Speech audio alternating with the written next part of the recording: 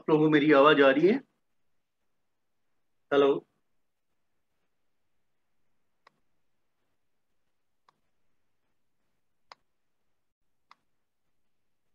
Unmute करके बताइए आप लोगों को सर आ रही हाँ। आ रही है। यस सर गुड नमस्कार आप सभी लोगों को आशीर्वाद राम सर। अनिल तिवारी जी आपको मेल आ गई? मेल आ गई सर धन्यवाद। ठीक है। एक्चुअली फ़र्स्ट टाइम जो है ना थोड़ा टीथिंग प्रॉब्लम्स रहती हैं। जी जी। लेकिन सब्सिक्वेंटली आप देखिएगा कि इस तरह की हमें कोई प्रॉब्लम्स नहीं होने वाली। अब आगे से सारा स्ट्रीमलाइन हो जाएगा। तो हाँ वो हुआ। आ गए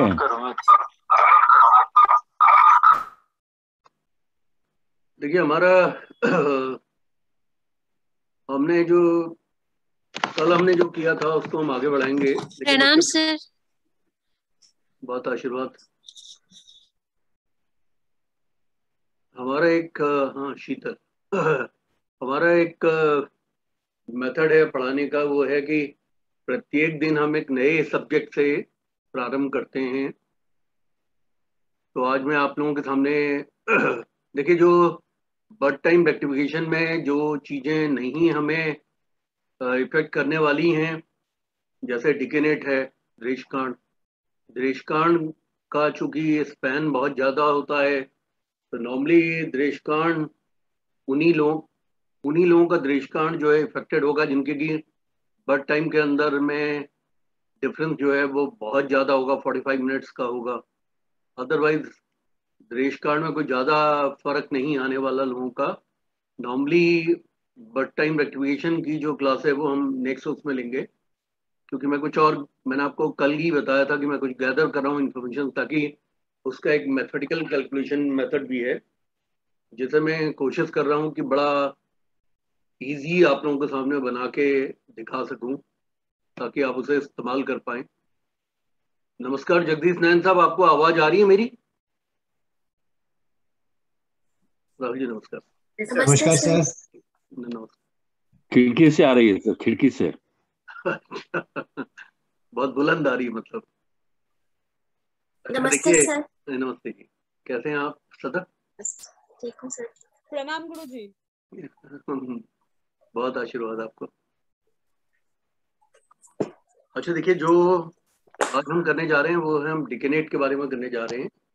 आप में से कितने लोग दृष्कांड के विषय में जानते हैं और या जान गए हैं पिछली क्लासेस से दशा के टाइम पे और हमारे वहाँ पे चूँकि इसमें ट्रांसलेट करने वालों में रविंदर सिंह जी रहे हैं, इन्होंने बहुत मेहनत करके हमारे सारे नोट्स को हिंदी में ट्रांसलेट किया है।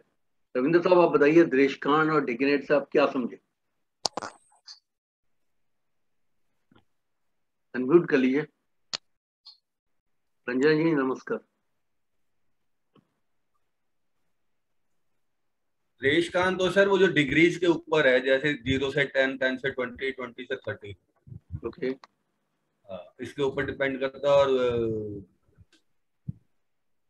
इसी से हम इसको डिसाइड करते हैं कि अगर बॉडी पार्ट में लेंगे तो कहाँ से लेंगे अगर उसमें लेंगे अपने इसमें कुंडली में लेंगे तो कैसे लेंगे? बिल्कुल। बहुत अच्छा। देखिए, जैसे आपको रविंद्र सिंह साहब ने बताया दृष्कांड क्या है? हमारी सभी, हम चूँकि थियोरी ऑफ़ इक्वल हाउसेस पर चलते हैं तो हमारे जितनी भी बारह राशियाँ हैं, तीस डिग्री के स्पैन की, वो प्रत्येक राशि एक भाव में पूरी तरह से फिट होती है। तो उसका मतलब भाव का जो स्पैन है, या उसका जो कारपेट एरिया है, जैसे बिल्डर्स की लैंग्वेज में कहते हैं कारपेट एरिया वो थर्टी डिग्री का होगा। अब वो थर्टी डिग्री के उसमें आपका जो ग्रह है, वो ग्रह एक सर्टेन डिग्रीज पर बैठा होगा। तो उसमें क्या है कि देशकांड का मतलब डी थ्री है तो उसमें तीस डिग्री की राशि को तीन भागों में बांट दिया जाता है। ज़ीरो से दस डिग्री पहला देशकांड होता है, दस डिग्री से बीस डिग्री दूसरा देशकांड होता है। और नमस्कार सीमा जी। और दस डिग्री बीस डिग्री से तीस डिग्री तीसरा देशकांड होता है। इसमें, इसका जो कैलकुलेशन है, वो अपने आप में बहुत आसान है। इसमें क्या है कि अगर कोई ग्रह, इसमें राशि से कोई मतलब नहीं है, इसमें ग्रह के दृष्कांड से मतलब है। तो यानी कि अगर ग्रह अगर प्रथम दृष्कांड का है तो उसके ऊपर कोई गणना नहीं होती। वो जहाँ बैठा है, जिस राशि में बैठा है नमस्कार। नमस्कार। रुचि जी। नमस्कार राजेश जी। तो इसमें कोई गणना नहीं होती या कोई कैलकुलेशन नहीं होता अगर वो प्रथम देशकांड का होता है डिकेनेट का होता है यानी कि ज़ीरो से दस डिग्री का जिस भी राशि में कोई ग्रह बैठेगा तो आपने कोई कैलकुलेशन या कोई गणना नहीं करनी है आपने उसको उसी राशि में जाके पोस्ट करना है। पहला नियम आपको समझ में आ गया। जैसे एग्ज़ाम्पल फॉर एग्ज़ाम्पल कि किसी का सपोज़ मेष राशि के अंदर में सूर्य सपोज़ नौ डिग्री का है तो ये पहले दृष्कांड का है। तो उसका मतलब दृष्कांड कुंडली जब बनेगी तो ये सूर्य कहाँ पोस्ट होगा? मेष में ही पोस्ट होगा। इसकी कोई गणना नहीं होगी, यानी कोई कैलकुलेशन नहीं होगी। अब आई बात दूसरे दृष्कांड की। दूसरा दृष्कांड होता है दस डिग्री से बीस डिग्री का। इस दूसरे देशकांड में अगर कोई ग्रह बैठेगा तो अपने से वो पांचवे मूव हो जाएगा, फिफ्थ फिफ्थ में जाके उसको पोस्ट किया जाएगा। तो अब एग्ज़ाम्पल इसी को ले लेते हैं कि किसी व्यक्ति की कुंडली में सूर्य मेष राशि के हैं और वो 11 डिग्री के हैं तो उसका मतलब या 10 डिग्री पाँच सेकंड के हैं तो उसका मतलब दूसरे दृष्कांड के हो गए, या वो 20 डिग्री के हैं तो भी वो दूसरे दृष्कांड के हुए। जब तक कि वो 20 डिग्री और एक सेकंड के ना हो जाए, या 20 डिग्री, पाँच सेकंड के ना हो जाए, वो दूसरे देशकांड के, तीसरे के नहीं जाएँगे। तो अगर वो सूर्य जो मेष राशि में बैठे हैं उच्च के, दीवन कुंडली के अंदर, अगर वो दूसरे देशकांड के हैं और दूसरा देशकांड का जो स्पैन है, वो 10 डिग्री से प्रारंभ होके 20 डिग्री पर समाप्त होता है। तो वो अपने से पाँचवें मूव हो जाएँगे। तो ये सूर्य कहाँ चले जाएँगे? लियो में, सिंह में।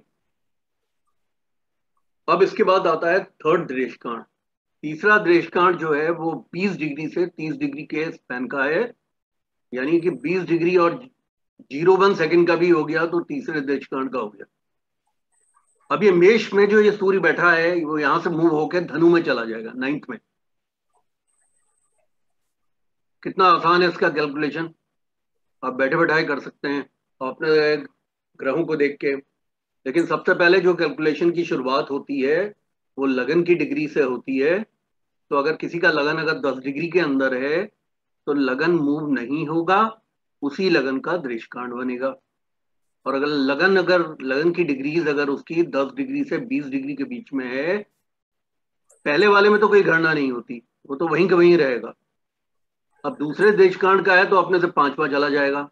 यानी कि अगर किसी का मेष लगन है तो वो उसका दृष्कांड कहाँ का बनेगा? दूसरे दृष्कांड का होने पे 10 से 20 डिग्री में उसका उसका जो दृष्कांड का जो लगन होगा, वो लियो होगा, सिंह होगा। और उसी मेष लगन के जातक का अगर लगन उसका 21 डिग्री का है या 20 डिग्री एक सेकंड, दो सेकंड का है तो तीसरे दृष्कांड का है तो उसका जो दृष्कांड चार्ट बनेगा, वो नाइन्थ से बनेगा फ्रॉम मेष तो इसका मतलब धनु का लगन उदित होगा। इसका मतलब त्रिकोणों से ही उदित होते हैं।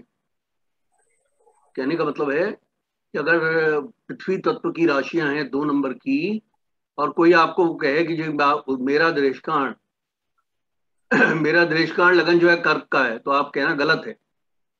क्योंकि अगर दो नंबर की का उसका लगन है तो पहला त्रिकोण कौन सा हुआ? छह नंबर का। और दूसरा त्रिकोण हुआ दस नंबर का। तो आप कहेंगे, भैया, आपका जो दृष्कांड है, वो या तो अगर आप वृक्ष लगन के हैं तो या तो आपका कन्या का आएगा, या आपका मकर का आएगा। इस तरीके से जो वायु तत्व राशियाँ हैं, उनके भी त्रिकोणों से ही निकलेगा। यानी कि अगर वो तीन नंबर का उसका लगन है तो अगर सपोज़ पहले दृष्कांड का है, तब तो लगन मूव नहीं होगा, मिथुन का ही रहेगा। और अगर दूसरे दृष्कांड का है, दस से बीस डिग्री का है तो फिर वो सात नंबर तुला का चला जाएगा। और अगर वो तीसरे देशकांड का है, यानी कि 20 डिग्री से 30 डिग्री के बीच का लगन है तो वो फिर कुंभ राशि का चला जाएगा। कुंभ राशि उद्धत होगी। और यही जल तत्व में होगा। चार, आठ और बारह। तो अगर ये नियम आप लोगों को समझ में आ गया हो और किसी को इसमें डाउट हो तो बताए। अब अपना देशकांड बोर्ड में बोर्ड पे करके बता सकते हैं। बोर्ड पे करके बताइए ना सर ऐसे छलांगे क्यों लगा रहे हैं ये? अ, किसने कहा छलांग लगा रहे मैंने कहा मंगला साहब? अच्छा जगदीश साहब। अच्छा। जी। हमारे जगदीश नैन जी हैं ये। हाँ जी मैं आपको एक कुंडली में दिखाता हूँ ये लिखे। सर ये ये बड़ा सिंपल है। जैसे अग्नि तत्व की राशियाँ हुई नहीं तो कोई बात नहीं। नहीं नहीं मैं दिखा देता हूँ एक मिनट। लगन है तो कोई बात नहीं मैं दिखा देता हूँ बना इनको दिखा देता हूँ। तो उसमें आप लोगों को प्रॉब्लम नहीं होगी एक कुंडली में दिखा देता हूँ।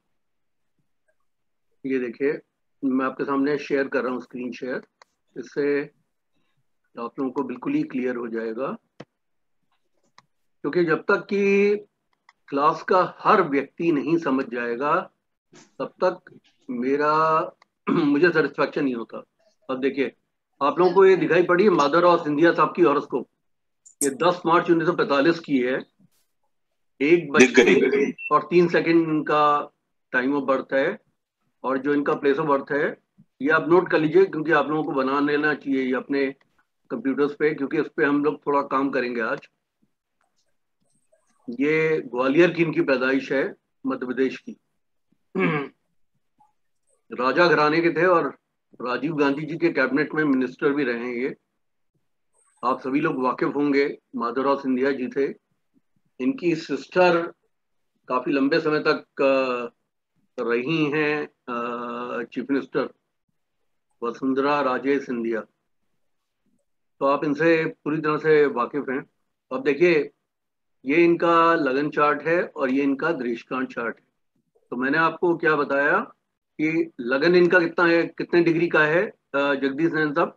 दस डिग्री अड़तालीस मिनट का। क्या आपको दिख रहा है? Ten forty eight. कोई बात नहीं हम नीचे देख लीजिए यहाँ देख लीजिए। यहाँ पे भी ना यहाँ भी लिखा होता है यहाँ कर्सर में लेके आया हूँ ना यहाँ एसेंडेंट लिखा है ए एस कितना लिखा है? दस डिग्री अड़तालीस मिनट छियालीस सेकंड। लिखा है ना? आप अनम्यूट कीजिए साहब। हाँ। जी जी जी। जी। तो उसका मतलब दस डिग्री अड़तालीस मिनट का छियालीस सेकंड का होने का मतलब है ये दूसरे देशकांड का है। अगर ये। पहले देशकांड का होता सपोज़ दस डिग्री का ये होता ये तो फिर इनका देशकांड चार्ट किससे बनता? इसी से बनता वृक्षिक से, क्योंकि उसमें फिर गणना नहीं होती। उसमें कोई कैलकुलेशन नहीं होता। और जो देशकांड व्यक्ति का है, जो लगन का, लगन व्यक्ति का है, वही देशकांड बन जाता। आठ नंबर का ही। लेकिन इनका चूँकि सेकंड देशकांड का है तो अपने से पाँच मूव होगा ये। यहाँ से आप काउंट कीजिए। One two three four five तो आप देखिए क्या बारह नंबर से इनका दृष्टांत बना है। आप देख रहे हैं? अब एक मिनट मैं इसको आपको जो है दूसरे चार्ट पे भी आपको दिखाता हूँ उससे आपको अंदाज़ा और ज़्यादा अंदाज़ा आ जाएगा।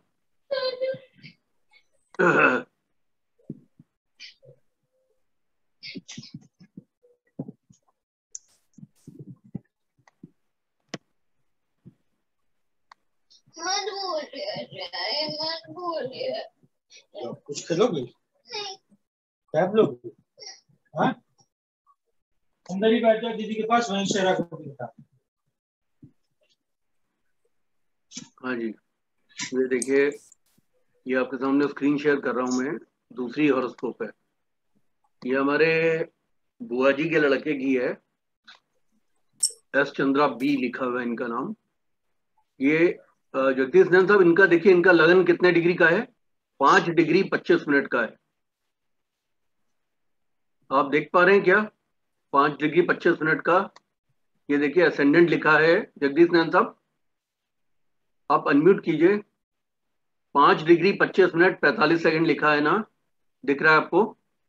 असेंडेंट एस के आगे लिखा है five twenty five forty five जी यहाँ पे भी आप देखिए लगन पे लिखा है पाँच पच्चीस। पाँच पच्चीस तो ये पहले है।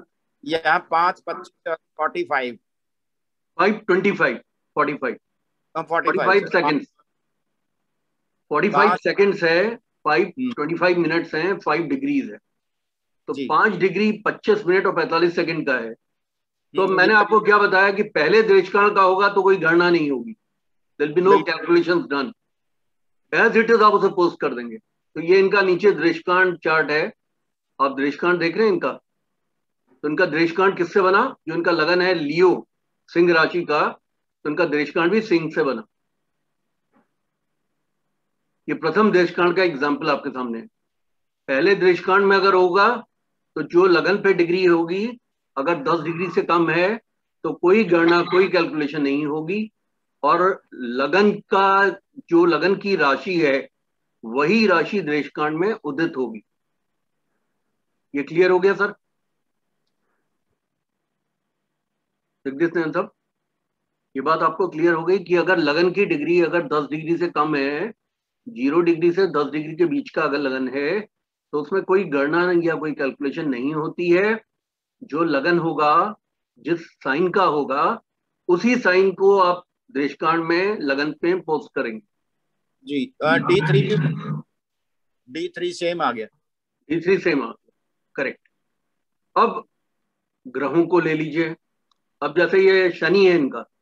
शनि इनका जो है तुला राशि का है चौदह डिग्री थर्टी नाइन मिनट्स का। तो ये चौदह डिग्री थर्टी नाइन मिनट्स का मतलब हो गया कि ये शनि इनका दूसरे दृष्टिकांड का दूसरे तो दूसरे देशकांड का जो शनि है वो कहाँ मूव होगा? अपने से पांचवे। One two three four five यानी कि कहाँ पोस्ट हुआ? कुंभ राशि में। तो आप देखिए शनि कुंभ राशि में हो गया। अब जी। मंगल को आप देखिए मंगल पहले दृष्टिकांड का है दो डिग्री चौबीस मिनट का। तो इसमें कोई गणना नहीं होती है। तो मंगल इनका नौ में ही जाके बैठेगा धनु में। जी। राहु इनका देखिए 27 डिग्री और 10 मिनट का है इसका मतलब तीसरे दृष्टिकांड का है तो ये अपने से नाइन्थ मूव हो जाएगा। Right right. तो इसके सामने सात आठ नौ। तो आप देखिए राहु इनके लगन पे आ गया दृष्टिकांड के। जी जी। अब इसके बाद चंद्रमा इनका देखिए 18 डिग्री का है जो कि दूसरे दृष्टिकांड का है। मतलब it means planet will shift according to Drescon. According to the degrees दे है Uh, a degree in the uh, horoscope. In the horoscope वो डिग्री से आपको पता चलेगा कि वो पहले दृष्टिकांड का है Uh, या दूसरे का है या वो तीसरे का है? है तो इट मींस फ़र्स्ट में है तो सेम जगह रहेगा सेकंड में है तो पाँच घर आगे जाएगा और थर्ड में है तो नाइन घर आगे चला जाएगा। नाइन्थ में चला जाएगा। नाइन्थ घर आगे आप बोलेंगे ना? तो वो थोड़ा कंफ्यूजिंग हो जाएगा लोग नाइन को काउंट करके दसवें में उठा ले जाएँगे। नाइन्थ में चला जाएगा अपने से। फ्रॉम इट्स पोजिशन नाइन्थ में चला जाएगा। अगर जी जी। अगर वो सेकंड देश कांड का है तो अपने से पाँचवें में चला जाएगा फिफ्थ में। Okay sir. अब जैसे एक एग्जांपल और ले लीजिए चंद्रमा का। चंद्रमा इनका 18 डिग्री का है। 18 डिग्री का मतलब दूसरे देशकांड का है 10 से 20 डिग्री के बीच में। तो उसका मतलब अपने से पाँचवें जाएगा। पांचवा कहाँ क्या हो गया? One two three four five यानी कि मिथुन में जाएगा। तो आप देखिए चंद्रमा इनका मिथुन में है। इसी प्रकार से मरकरी इनका 20 डिग्री 26 मिनट का है तो उसका मतलब तीसरे देशकांड का है तो अपने से नाइन्थ में जाएगा। तो मरकरी नाइन्थ में कैसे जाएगा? इसके सामने वाला सेवंथ एट्थ नाइन्थ तुला में चला गया। मरकरी इनका बुद्ध इनका तुला में आ गया। सूर्य देखिए इनका सत्रह डिग्री पचास मिनट का है जो दूसरे दृष्टिकांड का है। तो अपने से पंचम में जाएगा। पांचवे में जाएगा तो पांचवा कौन सा हुआ? One two three four five कर्क राशि। तो आप देखिए सूर्य इनका कर्क में आ गया ट्वेल्थ हाउस में दृष्टिकांड के। अब शुक्र है इनका दो डिग्री तिरपन मिनट का। पहले दृष्टिकांड का है कोई कैलकुलेशन नहीं होगी कोई गणना नहीं होगी। जिस राशि में बैठा है हाँ। उसी राशि में पोस्ट हाँ। होगा। तो शुक्र इनका एक एक नंबर पे मेष में ही पोस्ट सेम सेम पोस्ट हो गया। अब गुरु 27 डिग्री का है मतलब गुरु इनका तीसरे दृष्कांड का है तो गुरु यहाँ से नाइन्थ चला जाएगा। इसके सामने वाला सात, आठ, नौ तो कहाँ गया गुरु? मकर में।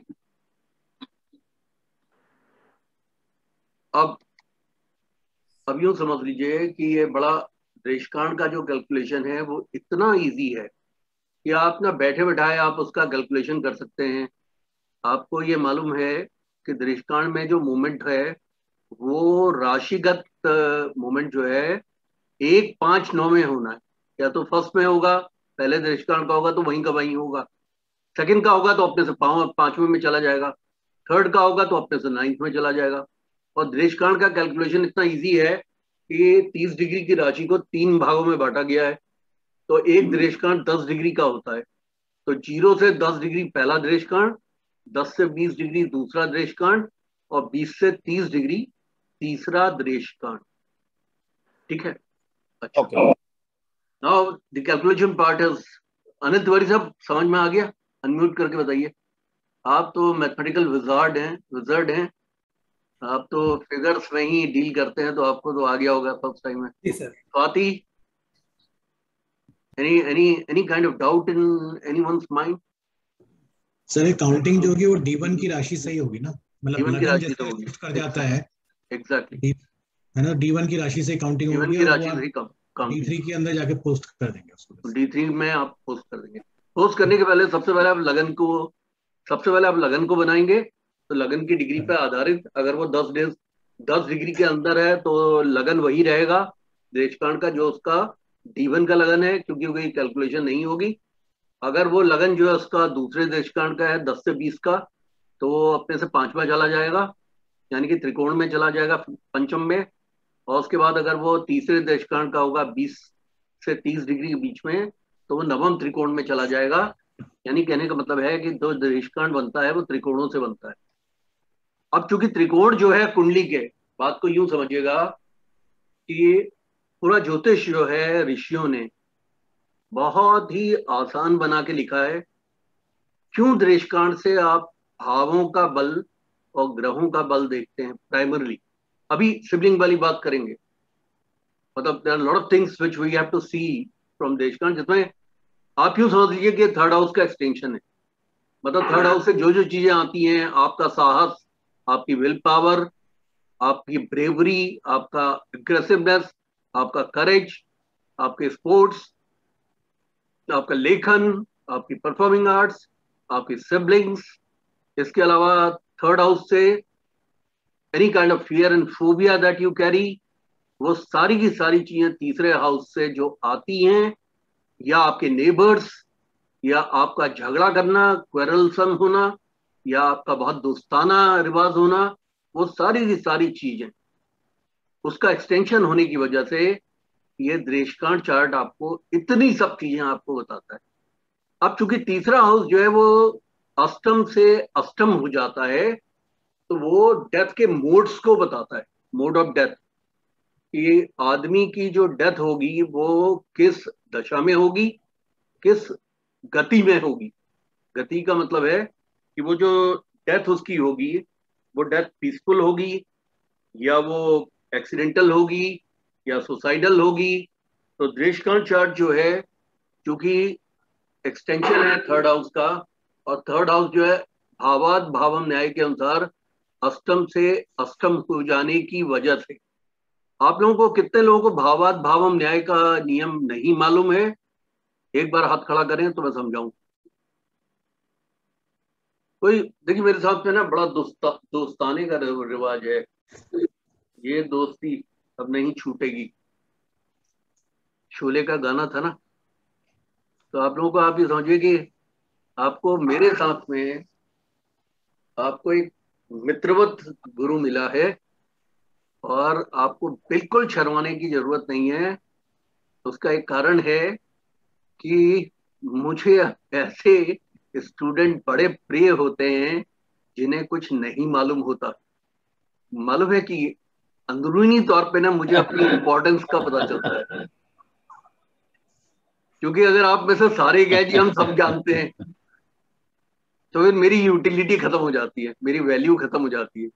तो अगर आप में से किसी को नहीं मालूम है तो आप समझिए कि आप you are doing a favour to me to make me feel feel from inside that I am of some value to this class इतने लोगों ने हाथ खड़ा कर दिया। वेरी गुड वेरी गुड तो अब मैं समझ गया हूँ भावात भावम न्याय।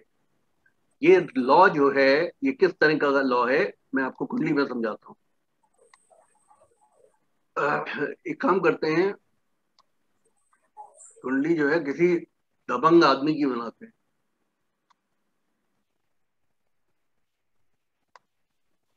मोदी? गब्बर सिंह की सर बना लो। गब्बर सिंह दबंग आदमियों में। सर नमस्कार। कैसे हैं आप? हाँ देखिए आप लोगों के सामने ये कुंडली ये माधवराव सिंधिया साहब की मैंने बनाई है। माधवराव सिंधिया साहब की कुंडली में भावात भाव न्याय का मतलब ये होता है कि एक भाव जितना डिस्टेंस है लगन से अगर उस भाव से उतना ही आगे काउंट कर लें तो पिछले भाव को न्याय देता है। यानी वो पिछले भाव के बारे में बताता है। अब देखिए धन का भाव है। हेमंत साहब इधर जरा थोड़ा सा तवज्जो चाहूँगा ईर्षाद ये ल, ये लगन के भाव से जो धन का भाव है ये कितना आगे है? दो। One and two. तो इससे जित उतना ही आगे अगर हम चल जाएँ मतलब वन एंड टू तो जो थर्ड हाउस होगा ना सेकंड को क्वालिफाई करेगा। उसके न्याय उसका न्याय संगत करेगा। इसीलिए आप देखिए जो थर्ड हाउस है, वो हमारा मशक्कत का है, मेहनत का है परफॉर्मिंग आर्ट्स का है, ये सारी चीज़ें धन पैदा करती हैं। राइटिंग वर्क का है। जिन्होंने राइटिंग कर दी, आज देखिए discovery of India Nehru ji ने लिख दी तो आज राहुल गांधी को भी उसकी उसकी रॉयल्टी आती है। अब मेरे साथ में क्या हुआ है कि मेरे मेरे पास कई पुस्तक लिखने का सामान मौजूद है, लेकिन उसकी बाइंडिंग नहीं हो रही है। तो अब उसको बस थोड़ा सा इंडेक्सिंग करके उसकी बाइंडिंग करनी है, ताकि रॉयल्टी क्रिएट हो सके बच्चों के लिए। तो आप देखिए, ये धन का भाव है वेल्थ का भाव है, और जो थर्ड हाउस होता है, वो इस भाव को न्याय संगत देता है। इस वजह से थर्ड हाउस से आप देखिए, आप आप अपने ऑर्गेनाइजेशन में ही आप घूम के देख लीजिए। जो आपका कलीग जो आपका सबॉर्डिनेट या जो आपका बॉस मेहनती था उसका प्रोग्रेस उसकी बहुत अच्छी हुई। और वो ज़िंदगी के अंदर ऊंचाइयों पे पहुँचा अपनी मेहनत की वजह से। और चूँकि जो थर्ड हाउस है, वो पंचम का लाभ का भाव है तो इसका मतलब वो क्रिएटिव भी था और पंचम भाव मैनेजमेंट का है तो मैनेजमेंट में डेक्स्टस था। डेक्स्टस का मतलब होता स्किल्ड तो इसलिए वो आगे बढ़ता चला गया। अब आप इसको छोड़ के आप उन पे आ जाइए। जिन्हें बड़ा केक वॉक मिला है धन का, वो जैसे परफॉर्मिंग आर्ट्स यहाँ से आती हैं। अगर कोई सिंगर है, या कोई म्यूज़िक डायरेक्टर है, या लिरिक्स लिखने वाला है, कैफी आजमी टाइप के लोग, या नौसाद साहब जैसे संगीतज्ञ, जिन्होंने भी संगीत में या परफॉर्मिंग आर्ट्स में अच्छा किया है तो आप एक बात देखिए कि वो टैलेंट भी उनकी इसी थर्ड हाउस से आती है क्योंकि पंचम जो क्रिएटिव भाव है, उसका ये लाभ है। तो वो फिर उनको धन दिलाता है। तो धन दो तरीके से आता है। तीन तरीके से आता है। पहला तरीका है मेहनत और मशक्कत के द्वारा, और दूसरा तरीका है टैलेंट्स के द्वारा, और तीसरा ये अष्टम भाव जो है, वसीयत का भाव है, और अष्टम से ये अष्टम हो जाता है। आप देखिए, यहाँ से काउंट करेंगे तो एट्थ हाउस है ये एट्थ से आप एट काउंट करेंगे तो ये थर्ड हाउस एट्थ को जस्टिफाई करेगा। मतलब उसको न्याय संगत वो देगा। तो यहाँ से काउंट करें, इसके सामने वाला सात और एक आठ। यस, अष्टम से अष्टम हो गया तीसरा हाउस तो अष्टम भाव से चूँकि वसीयत आती है तो तीसरा जो mode of money to the people है that comes by the eighth house और एंड थर्ड हाउस तो वसीयत चूँकि यहाँ से आती है तो तीसरा मोड डॉक्टर विनयशील जो है बड़े स्तब्ध होकर देख रहे हैं। क्या बात है डॉक्टर साहब? थर्ड से वसीयत नहीं आएगी? वसीयत की बात आ गई तो कुछ ख्याल आने लगे। सर ये वसीयत कैसे आएगी वो बताएगा ना थर्ड हाउस तो। अच्छा मतलब वसीयत की बात आई तो आपने बिल्कुल लाल भुजक्कड़ की तरह से आपने एकदम ये सोचना शुरू कर दिया कि लंदन की कौन से टावर में लूँगा। अच्छा देखिए बहरहाल भावात भावम न्याय का मतलब होता है जो भी भाव जितना लगन से आगे गया है उतना ही अगर हम आगे काउंट कर लें तो जो नेक्स्ट भाव आता है वो पिछले भाव का माइक्रो एनालिसिस करता है। यानी कि उसको न्याय देता है। भावात भावम न्याय। अब जैसे कहने का मतलब ये है पंचम भाव आपके संतान का है। लगन से कितना आगे है? पाँच। One two three four five. यहाँ से अगर आप पाँच गिन लें तो नाइन्थ हाउस जो आपके भाग्य का है उस भाग्य के भाव ये चूँकि भावात भावम न्याय के अनुसार वो संतान से मिलने वाले सुख को भी बताता है। और मैंने कल ही आपको बताया ये जो भाग्य भाव का जो एक्सटेंशन होता है या कि नवमांशा के रूप में ये चूँकि भाग्य का फॉर्चून का ये एक्सटेंशन है इसलिए न केवल ये पत्नी के बारे में बताता है एक अच्छी संतान के मिलने के बारे में बताता है। एक संतान की एडुकेशन को बताता है। मैं कई बार कुंडिया देखता हूँ, लोगों की नाइन्थ की दशा चल रही होती है और उनके बच्चे जो है आई में या फॉरन से स्टडी का उनका वीज़ा लग जाता है और वो आगे पढ़ने लगते हैं और ज़्यादा अच्छी स्टडी करने लगते हैं। अब जैसे डॉक्टर विनय शील का बेटा ऑक्सफोर्ड कैम्ब्रिज वगैरह में जा रहा है तो अभी इनका नाइन्थ हाउस एक्टिव चल रहा है। पंचम तो चल ही रहा है लेकिन पंचम से पंचम नाइन्थ की भी कोई ना कोई दशा चल रही होगी। जी। ठीक है ना? पंचम पंचम का सर रिज़ल्ट जो है जो नाइन्थ हाउस की दशा वाला प्लेनेट देगा मतलब इनको। फिफ्थ का लॉर्ड भी दे सकता है और नाइन्थ का लॉर्ड भी दे सकता है। नाइन्थ में बैठा हुआ प्लेनेट भी दे सकता है। नाइन्थ के लॉर्ड का कंजंक्ट प्लेनेट भी दे सकता है। ओके। ये मतलब इसमें क्या है ना कि ज्योतिष के अंदर में जो परम्यूटेशन कॉम्बिनेशन उनको मत भूलिएगा। एक ये है एक तो उसका लॉर्ड है लॉर्ड के ऊपर सबसे बड़ा दार दो मदार है कोई घटना को कराने का। लॉर्ड जिस कंजंक्शन में है उस कंजंक्ट प्लेनेट के पास भी दारोमदार है क्योंकि वो लॉर्ड के साथ बैठा है। आप अपने दोस्त के साथ बैठे हो तो आप दोस्त से कहेंगे यार तुम खाली हाथ आ गए। जाओ कुछ चिप्स खरीद के ले आओ तो भागा जाएगा चिप्स लेके आ जाएगा। है कि नहीं? स्थान स्थान गुरुजी आपने जो बताया स्थान स्थिति वशेन च। या। स्थान स्थिति वशेंच अब आप इंग्लैंड में आप ज्योतिष करेंगे उसमें संस्कृत में आप करेंगे ज्योतिष तो लोग तो मतलब दंग रह जाएँगे। और आपने मृत्यु के उसमें भी अगर ये लगा दिया तो किसी में भी आप लगा सकते हैं ये तो। कौन सा ब्रिटेन ने समझना है कि कहाँ फिट हो रहा है? वो तो वाह ही करेंगे। भवात भाव में हाँ। एक विशेष चीज़ दिखती है हाँ। कि जो भी सम संख्या का भाव है हाँ। जैसे दो चार छ आठ दस बारह हम्म, ये भवात भावम न्याय में किसी का भी किसी को भी न्याय नहीं देता है। जितने भी जितने भी न्याय देने वाले भाव हैं वो विषम संख्या के भाव। तो इसको कुछ हम लोग इससे डेसिफर कर सकते हैं क्या? देखिए कैसा है ना कि ये कुंडली जो बनती है ना, वो ऑल्टरनेटिव ऐसे करके बनती है। जैसे आप देखिए, कुंडली में ये सम संख्या है। सम के बाद फिर विषम आ गई। कुछ सम आ गई, फिर विषम आ गई, फिर सम आ गई, फिर विषम आ गई, फिर सम आ गई, फिर विषम आ गई, फिर सम आ गई, फिर विषम आ गई, फिर सम आ गई, फिर विषम आ गई। ये तो डिफ़ॉल्ट है। कुंडली का डिफ़ॉल्ट है। और प्रतापशील साहब इस डिफ़ॉल्ट के चलते क्या है कि जब भी आप भावात भावम न्याय करेंगे, अब जैसे माता का भाव चतुर्थ है, लगन से कितना डिस्प्लेस्ड है? फोर्थ हाउस तो उससे अगर आप फोर्थ अगर आप काउंट करेंगे तो माता यहाँ पे भी बैठना चाहती हैं। तभी माता में और पत्नी में जो है तकरार हो जाता है। ये लॉजिक सही है।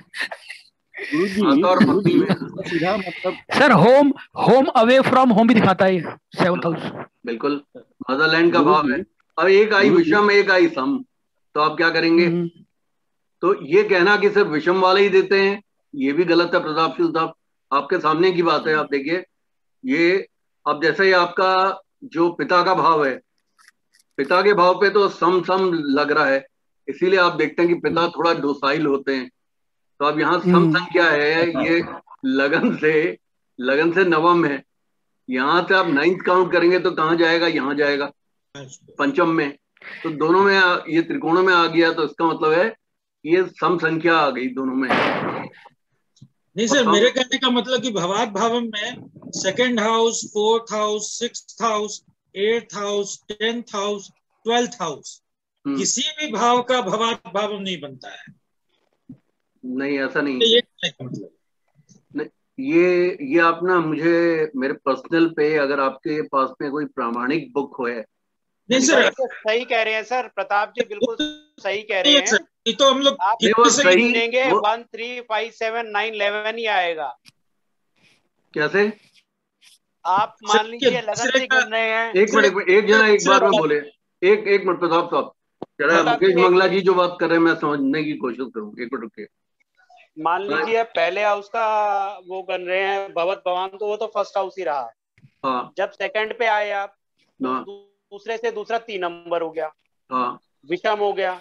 हाँ। अब बेशक से आप कोई भी ले लीजिए चाहे आप छठा ही ले लीजिए। ना तीसरा ले लीजिए आप आप आप आप एक एक करके चलिए ना थर्ड पे आप चलिए तीसरा ले लीजिए। तीसरा हाँ। लेंगे तो वो पाँच नंबर आया। पाँच नंबर आया तो पाँच नंबर- नंबर तो सम आ गया। नहीं नहीं विषम है। नंबर विषम है सर ऑड है ऑड है। पाँच नंबर और है ना सर? एक मिनट यार। सर वो राशि की बात नहीं करे हाउस नंबर की बात कर रहे हैं। हाँ हाउस की बात हो रही है। तो आप हाउस नंबर की बात कर रहे हैं मतलब। हाँ हाउस बिल्कुल हाउस की बात। कर रहे हैं सर। हाँ हाउस नंबर की बात कर रहे हैं। तो हाउस नंबर में तो विषम कहने आया का मतलब है कि इवन हाउस किसी में भी काउंटिंग में नहीं आता है। जब हम भवत भवाम हाँ तो इसको इस तरीके से कहना ज़्यादा उचित है कि वो हाउसेस की हम बात कर रहे हैं और भाव जो हाउसेस जो आएँगे वो उस तरीके से आएँगे क्योंकि एक जो दो नंबर है दो नंबर का तीन हो गया और तीन नंबर का हो गया पाँच। पाँच नंबर का हो गया नाइन वो हमेशा ऑड ही आ रहा है सर। हाँ हमेशा तो वो ऑड आ रहा हाउसेस में नॉट इन द है हाँ जी हाँ राशि जी हाउसेज के अंदर। हाँ तो एक बात- तो हाउस में ही आएगा सर। हाँ तो मैं आपको एक बात ये कहना चाहता हूँ कि इसके अंदर राशि की जो अपनी इंपॉर्टेंस है ना जो जस्टिफिकेशन है वो, वो हाउसेस नहीं दे रहे हैं। आप मेरी बात को यूँ समझिएगा मैं आपको दिखाता हूँ कुंडली तो आपको समझ में आएगा कि भावात भावम न्याय में जो हाउसेज हैं वो जस्टिफाई नहीं करते। यानी आप ये समझिए कि तीसरे का अगर तीसरा आगे चले हम पंचम आ गया तो ये नहीं है कि तीसरा भाव जो रोग की शुरुआत का भाव है, झगड़े का भाव है नेबर्स का भाव है क्वेरल का भाव है, आपके उसका भाव है। पंचम भाव तो बहुत ही कोमल है, संतान का है।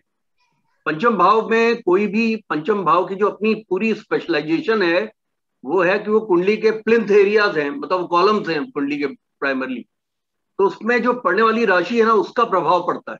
वही उसको न्याय देता है।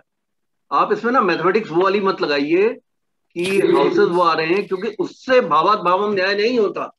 तीसरे सर फलित जो है पंचम का फलित मतलब तीसरे का फलित पंचम पे डिपेंड करता है लेकिन हाँ जैसे भावल पंचम पे नहीं करता पंचम की राशि पे करता है। हाँ पंचम की राशि मेरी बात को समझिए पंचम पे अगर करता होता तो थर्ड हाउस पर त्रिषडाय नहीं होता। सर्वे त्रिकोण नेतारो ग्रह शुभ फल प्रदा। तो त्रिकोणों के स्वामी जो है हमेशा शुभ फल को देने वाले होते हैं। और पतिय है त्रिषडाया नाम यदा पाप फल प्रदा आप एक ऐसा नियम निकालने की कोशिश कर रहे हैं, जो कि नियम बेसिकली उसकी स्पाइन ऑफ़ दी एस्ट्रोलॉजी पे हिट कर रहा है। अगर आप थर्ड को, अगर आप समकक्ष कह दें, पंचम भाव से तो जो थर्ड हाउस है, वो त्रिषडाय का भाव है। यानी पति है त्रिषडाय नाम यदा पाप फल प्रदा वो तो पाप फल को देने वाला है। और पंचम भाव जो है, सर्वे त्रिकोण नेतारो ग्रह शुभ फल प्रदा वो तो हमेशा शुभ फल को देने वाला है। तो आप कहाँ से उस, उसको उससे आप अटैच कर रहे हैं? Just because somebody knows mathematics or arithmetic does not mean that the नियम is going to be changed now. नियम बिल्कुल चेंज नहीं होगा। नियम क्या है? भावात भावन न्याय का उसमें पढ़ने वाली राशि उसमें पढ़ने वाला ग्रह उसमें पढ़ने वाले इन्फ्लुएंसेस वो उस पिछले वाले भाव को न्याय संगत देते हैं। न्याय देते जस्टिफाई करेंगे। थर्ड हाउस भी हालत में वो थर्ड हाउस को बता दीजिए ना सर इसी कुंडली में से उसको न्याय कैसे उसने दिया उसको थोड़ा एग्जांपल दे देंगे तो मैं आपको एग्जांपल दे दूँगा। पहले मुकेश मंगला साहब की बात को मैं समझा दूँ एक बात क्योंकि जब तक वो समझेंगे नहीं वो मैथमेटिकल व्यक्ति हैं डॉक्टर वाटसन तो थोड़ा मैथमेटिक्स को इनको समझा दूँ। थर्ड हाउस कभी भी त्रिकोण से जस्टिफाई नहीं होता है। क्योंकि त्रिकोण के जो भाव होते हैं अत्यंत शुभकारी होते हैं कुंडली के अंदर। वो न्याय कौन सा दे, कौन देता है? वो राशि उस पर जो बैठी है वो न्याय देती है। अगर थर्ड के बारे में अगर आपको कुछ समझना है तो आप ये समझिए कि एग्रेशन फिफ्थ हाउस आपके दिमाग का है। अग्रेशन आपके दिमाग की चीज़ है। There is no other difference between two people both the persons are going to be exactly identical unless कि फिफ्थ हाउस में कोई मेलिफिक ना बैठा हो। अगर मेलिफिक बैठेगा, तभी वो थर्ड हाउस की प्योरिटी को इम्प्योरिफाई करेगा। जो थर्ड हाउस है, वो डोसाइल है, यानी क्रिएटिविटी का भी है, साहस का भी है, लेकिन वो झगड़े का भी है। लेकिन आप एक बात बताइए कि झगड़ा कौन सा प्लानिट कराता है? जो दिमाग में बैठा हुआ जो आपका ग्रह है, मंगल जैसा ग्रह है, अड़ियल शनि जैसा ग्रह है, वही तो झगड़ा कराएगा। यानी उसमें बैठी हुई जो राशि है और उसमें बैठा हुआ जो ग्रह है वो उसको न्याय देगा। वो उसको जस्टिफाई करेगा कि वो आदमी इतना एग्रेसिव क्यों है। जस्टिफाई करने का मतलब ये होता है कि वो इन बातों को दिखाता है कि जो पिछले हाउस से आने वाले सिग्निफिकेशन हैं वो किस प्रकार से परिवर्तित होकर उस व्यक्ति के जीवन के अंदर एक्सप्रेस होने जा रहे हैं। अब रविंद्र साहब ने जो बोला मैं उसको बताता हूँ। ये देखिए इनका ये थर्ड हाउस है और ये फिफ्थ हाउस उसको जस्टिफाई कर रहा है। क्यों? क्योंकि ये लगन से तीन मूव्ड है और इससे अगर हम तीन मूव करें तो पंचम भाव आता है। अब आप देखिए, ये इसमें प्लेनेट कौन सा है? मंगल है, जो कि योद्धा है। शनि है, जो कि थोड़ा प्यादा है या यूँ समझ लीजिए, शनि एक अड़ियल ग्रह माना जाता है। क्योंकि शनि जो है वो सिडेंट्री ग्रह है, अड़ियल भी है। मंगल यहाँ पे जाके उच्च का हो गया है। ऐसे में आदमी को एग्रेशन देगा, लेकिन उसके तीसरे में बुद्ध जैसा ग्रह बैठा है। और बुद्ध नीच का होके बैठा हुआ है। नीच का बुद्ध है, उसका नीच भंग किससे है? चंद्रमा से है। चंद्रमा से चौथे में बैठ गया है। कोई भी नीच का ग्रह अगर चंद्रमा से अगर चौथे में बैठेगा, केंद्र में बैठेगा तो उसका नीच भंग उसका स्वतः हो जाएगा। इसका नीच भंग और दूसरे तरीकों से भी होगा। शुक्र से अगर ये केंद्र में होगा, तब भी इसका नीच भंग होगा। शुक्र से केंद्र में नहीं है। और चंद्रमा से अगर गुरु अगर चंद्रमा से अगर गुरु अगर केंद्र में होगा तो भी इसका नीच भंग होगा। चंद्रमा से गुरु केंद्र में है दसवें बैठा है तो उसका नीच भंग हो गया बुद्ध का। अब ये बुद्ध क्या है? ये बुद्धि का प्लेनेट है। नीच भंग हो जाने की वजह से क्या है? ये पूरा टर्न अराउंड हो गया। अब ये बहुत ही बुद्धिमान बनाएगा और कोई भी बहुत इंटेलिजेंट बना देगा इस व्यक्ति को और ये इस व्यक्ति को क्वरलसम नहीं बनाएगा। इस व्यक्ति को कभी भी पब्लिक स्पैट में नहीं डालेगा। पब्लिक स्पैट आप जानते हैं पब्लिक स्पैट का मतलब होता है जब आप पब्लिकली झगड़ा कर रहे होते हैं। पीछे एक बार मैं वो देख रहा था, बुल्गारिया पता नहीं कहाँ की वो पार्लियामेंट के लोग जो है आपस में एक, उसके सामने युगोस्लाविया या बुल्गारिया के वो लोग आपस में ना उसमें टीवी प्रोग्राम में आए हुए थे। उठा के उन्होंने एक दूसरे में कुर्सियाँ मारना शुरू कर दिया। पटक पटक के वहीं मारना शुरू कर दिया। तो इस तरह का जो पब्लिक स्पैट है वो पब्लिक स्पैट कौन सा प्लान देता है? मंगल जैसा प्लान देता है। लेकिन यहाँ वो इसको भावात भावम न्याय में ये इसको क्वालिफाई कर रहा है। यानी इसको जस्टिफाई कर रहा है। इसको न्याय संगत दे रहा है। अगर बुद्ध जैसा प्लेनेट अगर इसको न्याय देगा तो वो व्यक्ति की प्रकृति में सौम्यता लेके आएगा क्योंकि बुद्ध का, संस्कृत का नाम सौम्या भी है। यानी उसे सौम्य ग्रह माना जाता है। और वैसे भी आप लोग ज्योतिष के विद्यार्थियों को मालूम है ये जो बुद्ध है, ये ये बुद्ध जो है होता है, अगर ये अलोन है और इन कंजंक्शन विद दी शुभ प्लैनेट्स है तो ये शुभ बुद्ध हो गया। अगर ये मेलिफिक्स के साथ बैठा है तो मेलिफिक हो गया। अलोन हो या शुभ ग्रहों के साथ में हो तो ये एक शुभ ग्रह हो गया। अब ये बुद्ध जैसा ग्रह अगर शुभ हो गया तो थर्ड हाउस से एक तो सिबलिंग्स दे देगा और सिबलिंग्स को तरक्की दे देगा। और दूसरा वो एक व्यक्ति को जो सोच देगा वो सोच झगड़ालू सोच नहीं देगा पब्लिकली कि नेबर्स नेबरहुड में झगड़ा कर ले रोड रेज कर ले ऐसी कोई घटना कर ले जिसमें कि मंगल उच्च का ज़रूर है लेकिन ये मंगल की अपनी प्रकृति तो सेनापति की है, झगड़ा करने की। लेकिन चूँकि इसको ये जस्टिफाई ये कर रहा है तो इसके भावों को परिवर्तित कर देगा मंगला साहब अब आपको बात समझ में आई कि नहीं आई?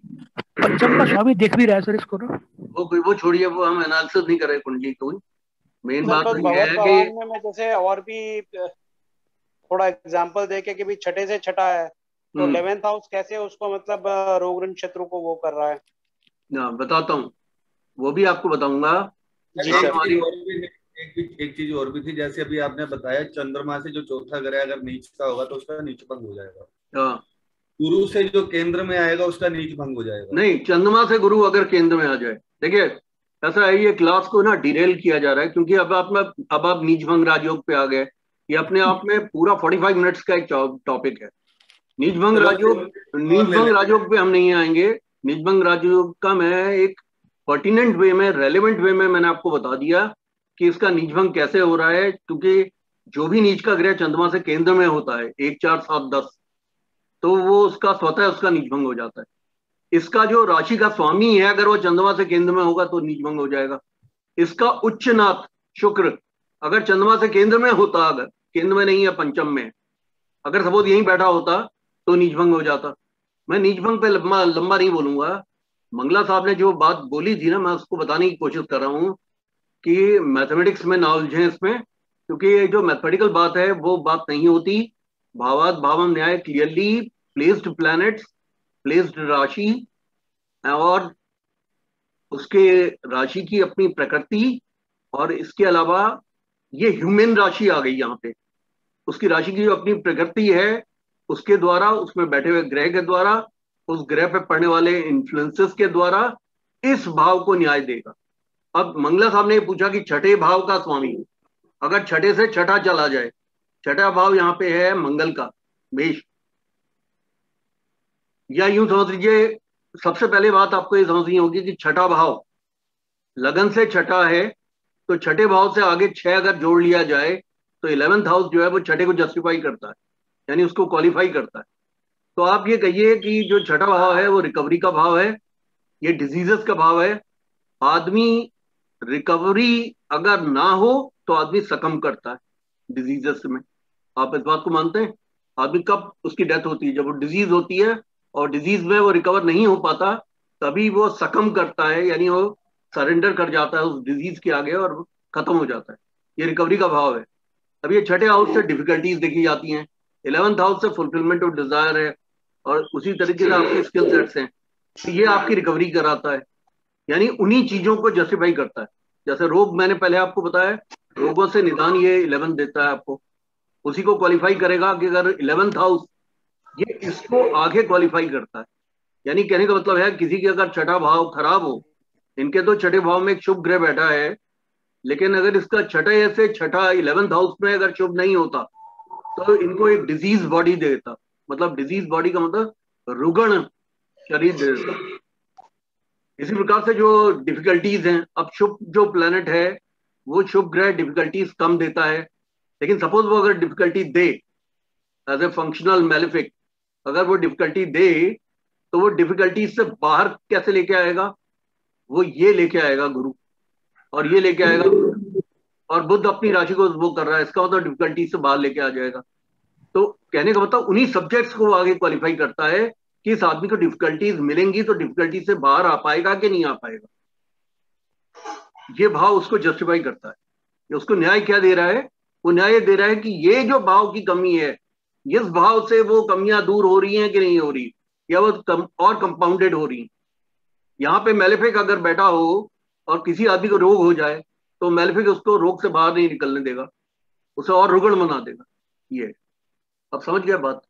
मंगला साहब ये बात समझ में आ रही है? जी सर थैंक यू सर हाँ।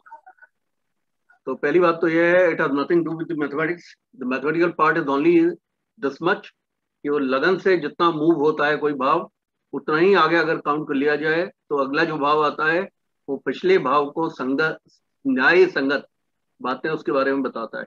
कि वो तो भाव से आने वाली जो चीज़ें हैं वो कितनी खराब होंगी या कितनी वो सुधर जाएँगी? भाव का बेसिकली उस भाव का आरूढ़ देख रहे हैं।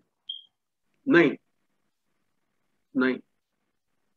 आरूढ़ लगन से थर्ड देख रहे हैं नहीं तो आरूढ़ नहीं देख रहे हैं आरूढ़ नहीं देख रहे हैं। हैं। अब आपने एक नया टॉपिक छेड़ दिया है। आरूढ़ के नियम फ़र्क होते हैं। डंप कर दीजिए इसको डंप कर दीजिए।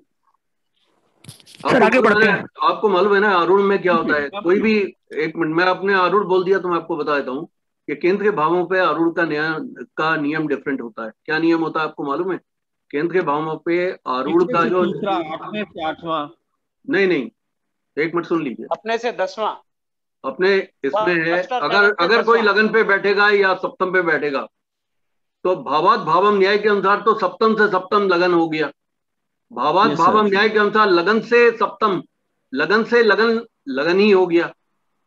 लगन वाला लगन। लेकिन आरूढ़ में क्या होगा कि जो चला जाएगा। वो लगन पे बैठेगा सप्तम में बैठेगा दसवें में चला जाएगा। और अगर वो दसवें में बैठेगा सप्त और चौथे में बैठेगा तो चौथे में आ जाएगा।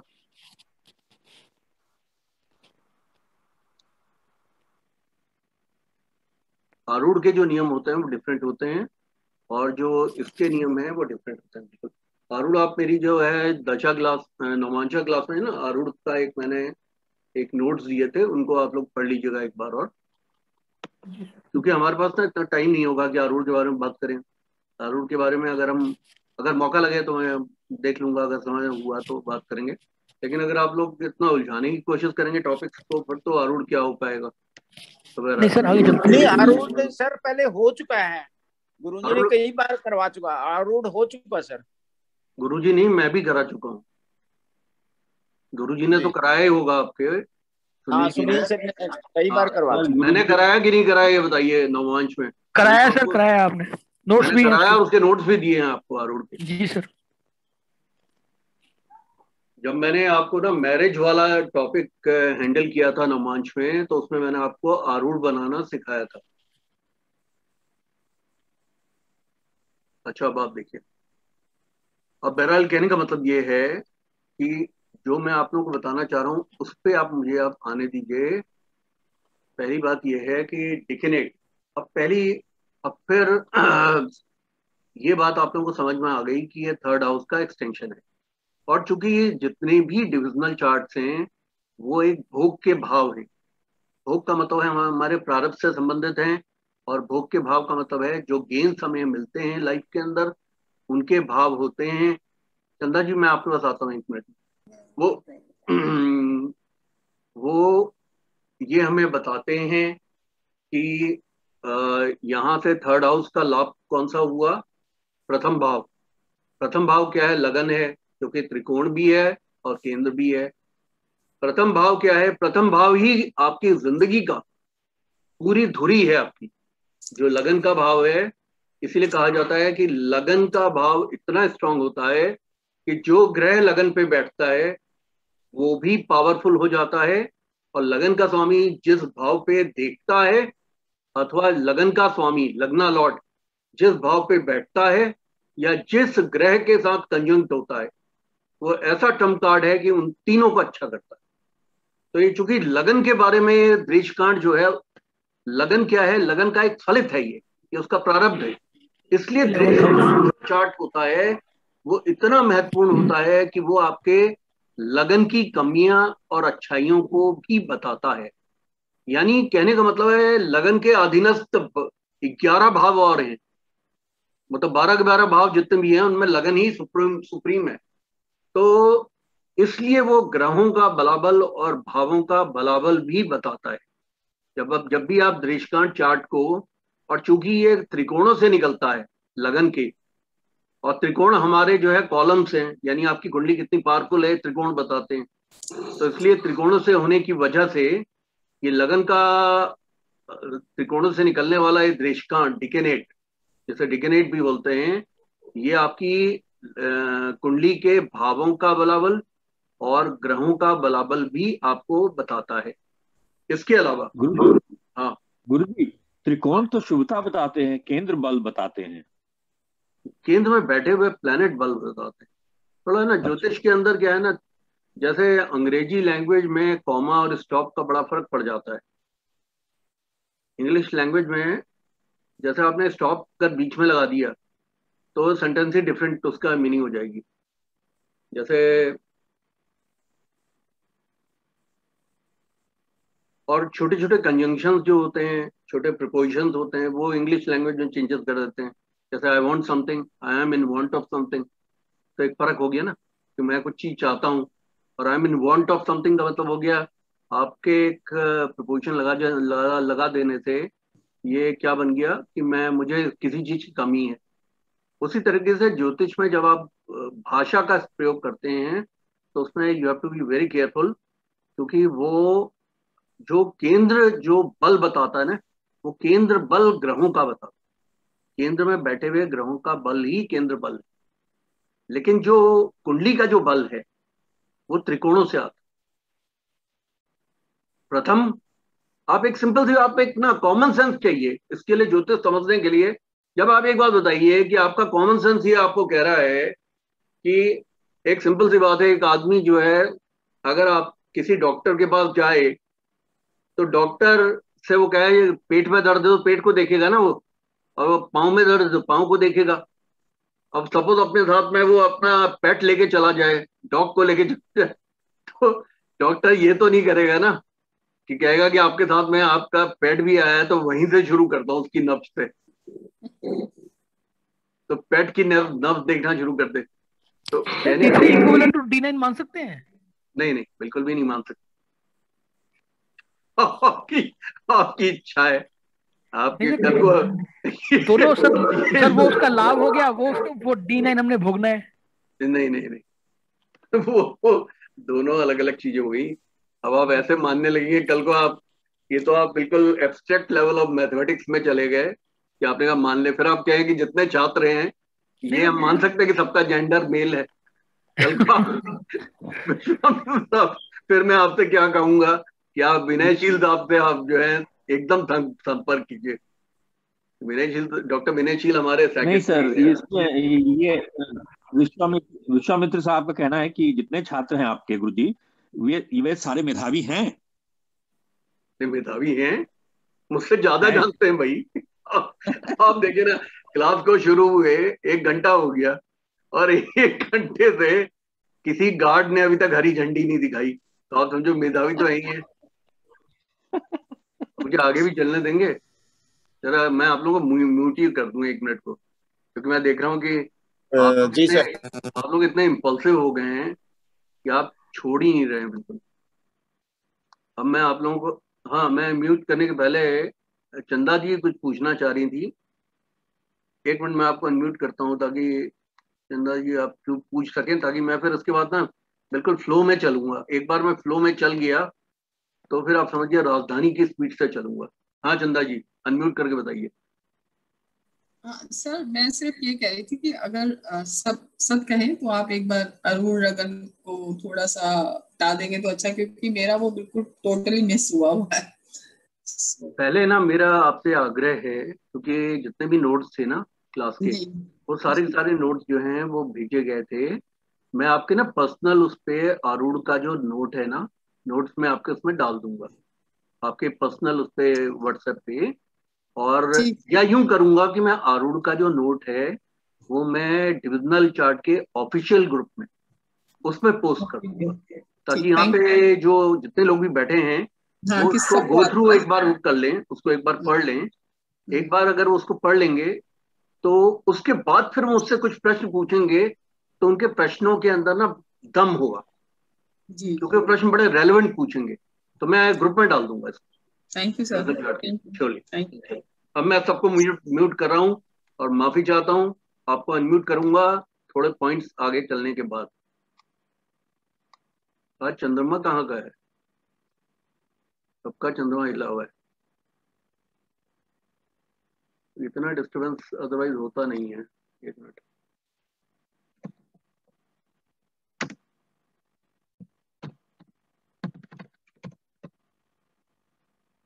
हाँ जी, चंद्रमा मकर का है आज, और मकर का चंद्रमा है और श्रवण नक्षत्र का है। हे भगवान। अब समझिए आप, श्रवण जो है वो चंद्रमा का ही नक्षत्र होता है। तो सभी का चंद्रमा इस समय खिसका हुआ है थोड़ा सा और आज एकादशी अलग से। तो जरा मुझे जो है अब चलने दिए अच्छा आप देखिए, टिकनेट चार्ट जो है, वो पहली बात जो आपने याद करनी है, वो ये याद रखनी है कि इसने, अगर आपने अपनी कुंडली के प्लैनेट्स के बलाबल को भावों के बलाबल को समझना है तो उसकी एक मेथड तो होता है षटबल का, जिसमें ग्रहों का बल और भावों का बल निकलता है। लेकिन वो बहुत टीडियस एक्सरसाइज है मैथमेटिकल एक्सरसाइज है।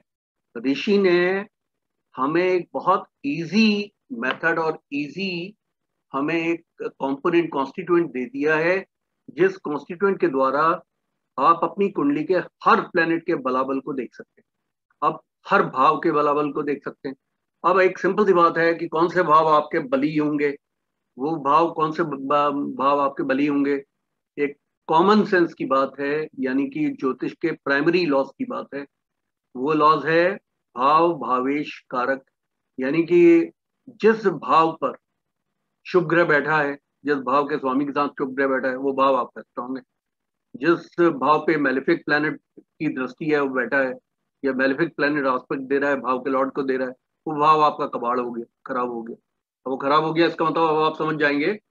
यानी कि मतलब आप ये समझ लीजिए कि एक सज्जन, जब मैं अपनी इंस्टीट्यूट एस्ट्रोलॉजी में जब मैं पढ़ा रहा था देशकांड तो मेरे एक स्टूडेंट जो है नेक्स्ट डे अपने लिए एक सूटेबल गर्ल देखने जा रहा था। इस बीच में वो दस पंद्रह मिनट अपना देशकांड देख बैठा। और देशकांड देखने के बाद वो जब उसने सप्तम भाव को देखा तो उसने आइडिया ही ड्रॉप कर दिया। तो आप समझिए कि इतना भावों का बलाबल और ग्रहों का बलाबल इतना महत्वपूर्ण होता है इसका। तो इसका मतलब है कि हर भाव के बलाबल को आपने समझना है, वो आपने दृष्टांत चार्ट से समझना है और उसको समझने का एक ही तरीका है, जिस भाव पे शुभ ग्रह बैठे हैं और शुभ ग्रहों की दृष्टि है और शुभ ग्रह उस भाव के स्वामी के साथ बैठे हैं और शुभ ग्रह उस भाव के स्वामी पे दृष्टि रखते हैं जिस भाव का स्वामी दुख स्थानों पे नहीं है डीवन के अंतर्गत डीवन में वो भाव बली है। और शुभ भाव में बैठा है अगर वो डीवन में नेटल चार्ट में तो भाव बली है। यानी कि आपने हमेशा टेंडम में पढ़े जाते हैं डिविजनल चार्ट, पिछली क्लास में भी मैंने आपको बताया था कि डिविजनल चार्ट हमेशा जो है मेन कुंडली के साथ में पढ़े जाते हैं। थोड़ा वेटेज हम डिविजनल चार्ट को ज़्यादा देते हैं। अब दूसरी बात पे आइए। दूसरी बात है सिबलिंग। इस भाव से आपको सिबलिंग का पता चलता है। हर डिविजनल चार्ट का एक कारक होता है, इसके दो कारक होते हैं। मंगल इसमें यंगर सिबलिंग का कारक होता है यंगर ब्रदर का कारक होता है, और गुरु इसमें एल्डर ब्रदर का या एल्डर सिबलिंग का कारक होता है। इसमें शुक्र जो है, वो यंगर सिस्टर्स का कारक मानते हैं, और हमारे जो पंडित जी हैं, जो सेक्टर फोर्टीन में बैठे हुए अभी मेरी बात सुन रहे होंगे तो उन्होंने मुझे आज ही बोला है कि मैं तो बुद्ध को मानता हूँ। छोटी सिस्टर्स का कारक तो मुझे फिर उनको सारावली और ये सब इसके दिखाने पड़े। मैंने कहा, ये तो शुक्र से ये लोग कह रहे हैं कि देखो। तो बोले, मेरी तो हॉटलाइन है सीधे ऋषि पाराशर से। तो मैं बुद्ध को मानता हूँ। तो अब ये बात आप स्वयं जो है वो देखिएगा कि बुद्ध से निकलती हैं, आपकी बहनें वहाँ पे डीवन में बुद्ध से निकलती हैं। लेकिन जो दृष्कांत चार्ट के अंदर शुक्र को देखा जाता है, आपकी छोटी बहन बड़ी बहन के लिए। ये उसके कारक हैं। अब ये कारक वाला, जैसे मैंने आपको बताया, भाव, भावेश कारक तो ये कारक वाला जो सिद्धांत है, उस सिद्धांत के अनुसार आपको ये पता चलता है कि कारक की स्थिति अगर अच्छी है, कारक का अगर राशि का नाथ अच्छा बैठा है, कारक स्वयं अच्छा बैठा है, अच्छे शुभ भावों में बैठा है, केंद्र में, त्रिकोण में तो इसका मतलब है कि भाई बहनों के साथ में अच्छे संबंध देगा। अब यही जो दृष्कांड का लगन है, लगन अगर मेलिफिसेंस में हो, यानी उसके ऊपर मेलिफिक प्लैनेट बैठा हो, या मेलिफिक प्लैनेट के द्वारा वो दस्ट हो, इन स्थितियों के अंतर्गत, वो भाई बहनों के साथ में एक इंडिफरेंट एटीट्यूड देता है। और वहीं पे अगर मंगल जैसा अगर प्लैनेट अगर इन्वॉल्व हो जाए, और वो छठे में बैठ के अगर अष्टम दृष्टि से अगर लगन को देख रहा हो, तब वो भाई बहनों के साथ में काफ़ी ज़्यादा झगड़े फसाद क्रिएट कर सकता है। क्योंकि छठा भाव हमारा कुरुक्षेत्र का भाव है, यानी झगड़े फसाद का भाव है। वहाँ पे मंगल जैसा सेनापति बैठकर अष्टम दृष्टि से अगर लगन पे दृष्कांड के देखेगा तो अगर वो योगाकारी नहीं है आपके जीवन चार्ट तो मंगल जो है बहुत बुरी तरह से परेशान करेगा। अब डिविजनल चार्ट को पढ़ने में एक बात और होती है, वो ये है डिविजनल चार्ट में के जो, आप अपने डीवन चार्ट में आप जाइए और डीवन चार्ट में आप देखिए कि आपके केंद्र और त्रिकोणों में कौन से ग्रह बैठे हैं। अगर वो जो ग्रह हैं, जो कि केंद्र बली, त्रिकोण बली हैं, अगर वो दृष्कांड चार्ट के अंदर अशुभत्व में नहीं है, अशुभ नहीं हो रहे हैं, अगर वो शुभ हैं, अच्छी स्थितियों में है तो उसका मतलब भाई बहनों से करेज साहस, इसी तरह राइटिंग वर्क परफॉर्मिंग वर्क इन सब में अच्छा करेंगे। अब फिर इसके अलावा यहाँ पे हम धन के योग देखते हैं। तो अगर एक बलि अगर दृष्टांत के अंदर लगन होता है और लग्नेश होता है, अथवा एक बलि चंद्र होता है और चंद्रमा का राशिनाथ अगर बलि होता है तो आदमी को काफ़ी धनाढ़ बनाता है। इसी प्रकार से डिविजनल चार्ट के भी फंक्शनल नेचर के प्लैनेट्स देखे जाते हैं।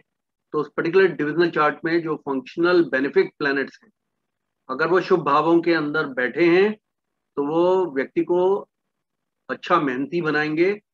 और अगर ये दृष्कांत चार्ट चार्ट अगर आपका पीड़ित है तो आपको जीवन के अंदर बहुत स्ट्रगल की पोजीशंस में लेके आएँगे। और वहीं पे अगर शुभ ग्रह अगर उस दृष्कांत के चार्ट को और उसके फंक्शनल बेनिफिट्स को प्रभावित शुभ ग्रह ही कर रहे हैं तो आपको बड़ा लाइफ के अंदर केक वॉक मिलेगा हर वो चीज़ में जो कि तीसरे भाव से आती है। तो इसलिए क्या होता है कि जो डीवन चार्ट के जो त्रिकोणों के भाव हैं, केंद्र के भाव हैं या उपचय भाव हैं, इन भावों में बैठे हुए ग्रहों को भी की भी स्थिति को दृष्कांड में इवेलुएट किया जाता है। ये जानने के लिए कि कितना आपको ज़िंदगी के अंदर अगर उपचय के भावों के ग्रह होंगे तो आपको बड़ी मशक्कत के साथ में लेकिन फुलफिलमेंट ऑफ़ डिज़ायर देंगे। और अगर वही अगर त्रिकोण केंद्रों में बैठे हुए ग्रह होंगे तो वही अगर शुभत्व में अगर बैठे हैं दृष्कांड में तो आपको बड़ा केक वॉक देते हैं। और ज़्यादा बड़ा केक वॉक तब मिलेगा कि अगर वो त्रिकोणों में केंद्रों में बैठा हुआ शुभ ग्रह है डीवन के अंदर नेटल चार्ट में, और वो अगर इसके अंदर देशकांड में अच्छा बैठ जाए तो वो आपको बहुत अच्छा केक वॉक देता है। ये तो धनों की बात हो गई। धन से संबंधित और जो अच्छी चीज़ें इसमें आपकी निकलती हैं। अब दृष्कांड चूँकि आपका अष्टम से अष्टम, भावाद भावम न्याय के अनुसार भी चलता है तो वो मृत्यु मोड ऑफ़ डेथ को भी बताता है। वो ये ये भी बताता है सुसाइडल टेंडेंसीज को भी बताता है मोड ऑफ़ डेथ को भी बताता है। इसी प्रकार से थर्ड हाउस जो है बिगनिंग ऑफ़ ए डिज़ीज़ का है तो दृष्कांड सबसे अधिक जो आपको बताता है वो आपको रोगों की स्थितियों के बारे में बताता है। साढ़े आठ बजे हम लोग रिवर्ट करेंगे जो यहाँ पे हमने छोड़ा था पिछला वाला, उसके बाद जब समय मिलेगा तो हम दृष्कांड पे आएँगे। तो आज चूँकि हमारा विधान है कि प्रत्येक दिन हम एक नए टॉपिक से शुरू करते हैं तो एक टॉपिक को मैंने शुरू कर दिया है, छेड़ दिया है। ये छेड़ने का कारण एक ये होता है कि अगर आप में से कुछ लोग बुद्धिजीवी हैं और क्यूरोसिटी है उनको तो वो कहीं ना कहीं से इसके दृष्कांड के बारे में पढ़ना प्रारंभ करेंगे और अपनी कुंडलियों में देखना प्रारंभ करेंगे। तो वो चीज़ों से रिलेट करेंगे कि उनके भाई बहनों से कैसे संबंध है, कि कोई कोर्ट केस तो नहीं है, आपस में कोई झगड़ा तो नहीं है, और जो मैंने आपको नियम बताए हैं, उन्हीं नियमों पर आधारित चलेगा। जब तक कि दृष्कांड का लॉर्ड और दृष्कांड का लगन अगर खराब ना हो दृष्कांड का सप्तम भाव और दृष्कांड का सप्तमेश खराब ना हो। तब तक वो भाई बहनों से उतना खराब परिणाम नहीं देगा। इसके अलावा हमेशा जो डीवन चार्ट का जो भाव होता है, उस भाव को देखा जाता है। इसमें आपका जो यंगर सिबलिंग है, वो तृतीय भाव से डीवन चार्ट के देखते हैं। तो तृतीय का जो लॉर्ड है, उसकी पोजीशन को आप देखेंगे यहाँ पे रेशकांत चार्ट में। इसी प्रकार से जो नेक्स्ट आपका सिबलिंग है वो थर्ड से थर्ड यानी फिफ्थ से आएगा। उसके बाद अगर आपका और कोई छोटा भाई बहन है तो वो फिर फिफ्थ से थर्ड यानी सेवंथ से आएगा। इसी प्रकार चूँकि यहाँ इसमें बड़े भाई को भी देखते हैं तो पहला जो आपका बड़ा भाई या बड़ी बहन है, वो इलेवेंथ हाउस से आती है, और जो दूसरी, उससे बड़ी जो होगी, वो उसके इलेवेंथ से आएगी। स्क्रीन अभी शेयर करूँगा, प्रवीण गुप्ता जी। कौन सा स्क्रीन की बात कर रहे हैं? अभी तो मैं लेक्चर दे रहा हूँ, बिल्कुल। नेताओं की तरफ़। तो पोडियम आपको जो है शेयर हो रहा है माँ सरस्वती का। ये माँ सरस्वती पीछे बैठी है और ये गणेश चतुर्थी के दिन है। गणेश जी को भी इधर ही कर लेते हैं। ये दिखे होंगे आपको। ये आगे गणेश जी। नहीं दिखे? कोई बात नहीं, गणेश जी तो देख ही रहे हैं आपको हाँ राहुल साहब बोलिए। एक मिनट।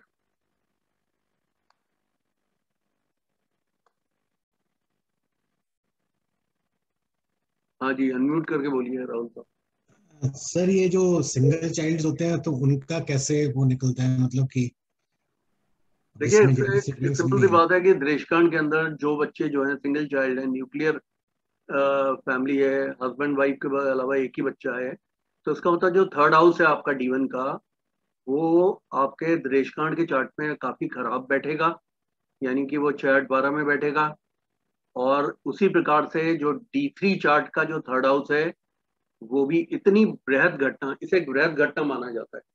जैसे सिंगल चाइल्ड का होता है हमारे एक फ्रेंड हैं उनकी छोटी बहन की डेथ हो गई। तो सिंगल चाइल्ड रह गया तो छोटी बहन की डेथ जो है वो आ, हुई थी आ, इससे मेनिंजाइटिस से डेथ हो गई थी जब वो चौदह तेरह चौदह साल की थी। तो उनका जो दृष्कांड है, उसका थर्ड हाउस में काफ़ी एफ्लिक्शन है। लेकिन डीवन के अंदर वो एफ्लिक्शन नहीं दिखाई पड़ता तो चौदह वर्ष की उम्र तक वो जीवित रही। लेकिन डी थ्री चार्ट को अगर आप देखते हैं, जिन दशाओं में उसकी डेथ हुई है, उन दशाओं के अंदर डी थ्री चार्ट में जो दशाएँ पड़ी थी तो उसमें थर्ड का लॉर्ड एक्टिव हुआ था। और थर्ड का जो उनका लॉर्ड है, वो द्वादश भाव में बैठा हुआ था, वो एक्टिव हो गया था। तो उसने डेथ करा दी। अब जो न्यूक्लियर वाली बात आएगी सिंगल चाइल्ड है तो सिंगल चाइल्ड का मतलब है कि आ, मतलब उसे कोई सिबलिंग नहीं है तो उसका मतलब जो थर्ड हाउस है उसका इवन का वो भी खराब होगा और डी का थर्ड हाउस एंड थर्ड का लॉट वो भी खराब होगा। हाँ विश्वास साहब आप बताइए। सर एक एग्जांपल मैं आप लोगों के सामने ले लूँगा जिनका भी सर एक क्वेश्चन एक क्वेश्चन है सर। अगर थर्ड हाउस का लॉर्ड अगर आज तो डीप कंबस्ट हो हाँ। तब भी सिचुएशन आ सकती है सिंगल चाइल्ड के देखिए, एक सिंपल सी बात है कि जो थर्ड हाउस का अगर लॉर्ड अगर डीप कम्बस्ट है, वो तो डीवन के अंदर है। मैंने आप लोगों को कंबशन के बारे में बताया था कि जो डिविजनल चार्ट है, उसमें अगर वही कम्बस्ट प्लैनेट अगर इम्प्रूव पोजिशन डिग्निफाइड पोजिशन पे आ जाता है तो डीवन को ओवरराइड कर देता है। तो आपको दोनों को देखना होता है इसीलिए, क्योंकि ये बृहद घटना है। इस घटना को आपको डी में भी देखना होगा और डी में भी देखना होगा। तो क्योंकि जैसे मैंने आपको बताया डिविजनल चार्ट्स में मैंने आप लोगों को एग्जांपल भी दिया था कि बुद्ध कंबस्ट हो डिवन चार्ट के अंदर और डीपली कंबस्ट हो एक डिग्री के अंदर।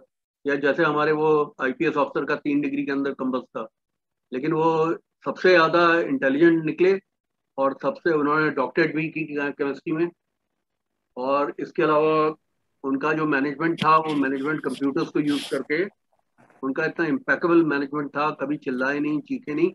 लेकिन बुद्ध के सारे परिणाम उनको मिले। क्योंकि डिविजन चार्ट के अंदर बुद्ध की स्थिति बहुत अच्छी थी। बैकग्राउंड में शोर आ रहा है। अगर डी वन सर अगर डी वन और डी थ्री में दोनों में कम्बस डिग्री तो सेम है सर। उसमें दोनों में कम्बस हो ही नहीं सकते। क्योंकि आप बात को समझिएगा कि जो डिविजनल चार्ट हैं उन डिविजनल चार्ट के अंदर क्या डिग्री है? वो डिग्री पे ही तो आधारित होके बने। वो तो डिविजनल चार्ट के अंदर तो डिग्री होने की वजह से डिविजनल चार्ट कंस्ट्रक्ट होते हैं। तो वहाँ पे कम मतलब अगर दोनों में मतलब साथ में सूर्य के साथ में है इसका मतलब डीप कंबस्ट होगा। डी वन में भी डीप कंबस्ट है और डी थ्री में भी डीप कंबस्ट नहीं। नहीं नहीं नहीं नहीं। डी थ्री में को कैसे कंबस्ट हो सकता है कोई प्लेनेट डी वन में कंबस्ट हो सकता है। डी थ्री में तो डिग्री के साथ में वो मूव कर रहा है।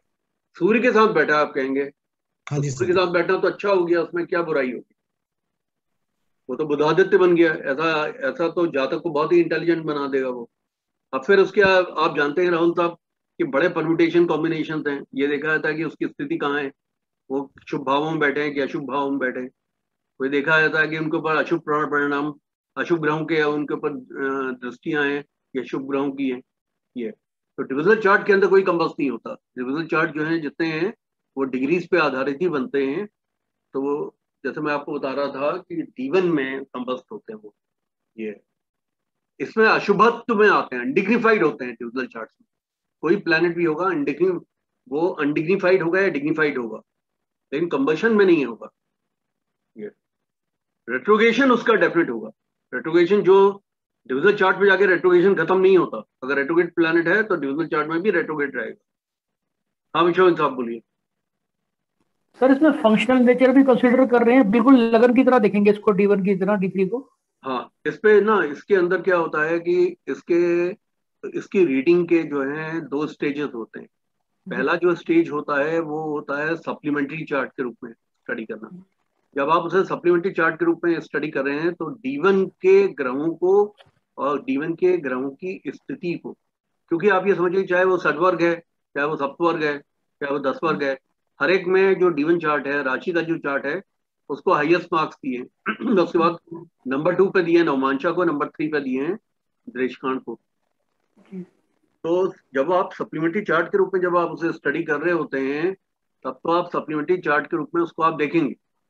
लेकिन जब आप उसको उसके बाद सेकंड स्टेज पे आप उसे ऐसे इंडिपेंडेंट चार्ट भी आप उसे स्टडी करते हैं।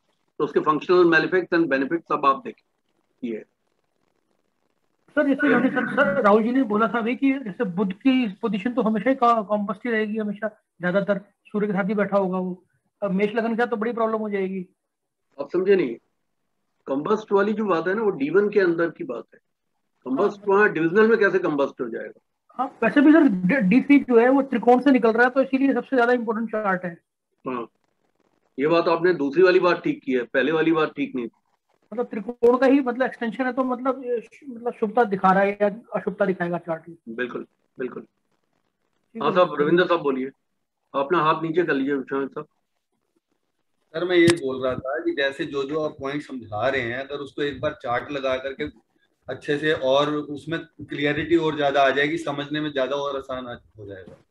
सर जी पूरा पूरा एक किसमें नोट्स बने हुए हैं? वो नोट्स मैं अभी आपके सामने रखूँगा पढ़ना है और फिजिकली समझने में थोड़ा सा डिफरेंस है ना सर सर ये अभी आज तो सर पुराना क्लास करेंगे ना कल वाला।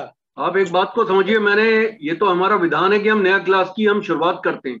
अभी तो मैंने आप लोगों को सिर्फ़ इसका बेसिक आप लोगों ने ना उस बेसिक को समझ लेना चाहिए कि वो टिकनेट चार्ट बेसिकली है क्या? उसके बाद जो है। ये तो ये तो आप लोगों को हम्म। समझाने की कोशिश की है कि डिकनेट आज हमने प्रारंभ कर दिया है। आप डिकनेट अपनी कुंडली के अंदर अब आप किस चीज़ के लिए देखेंगे? आप उसके बलाबल के लिए देखेंगे। मैं आपको डिकनेट में जो चीज़ मैं आपको दिखाना चाह रहा हूँ वो मैं माधवराव सिंधिया जी के एक हॉरोस्कोप को ज़रूर आपको दिखाऊँगा। वो मैंने अपने नोट्स में भी डाला हुआ है और वो मैं आपको दिखाऊँगा इसमें क्योंकि उसके अंदर एक चीज़ मैं आपको दो चीज़ें आपको दिखाना चाहता हूँ। एक तो ये माधवराव सिंधिया की कुंडली है, आप देखिए। माधवराव सिंधिया की कुंडली में क्या है कि उनका अपनी दो सिस्टर्स हैं, दोनों सिस्टर्स के साथ में ये दृष्कांड उनका बना हुआ है।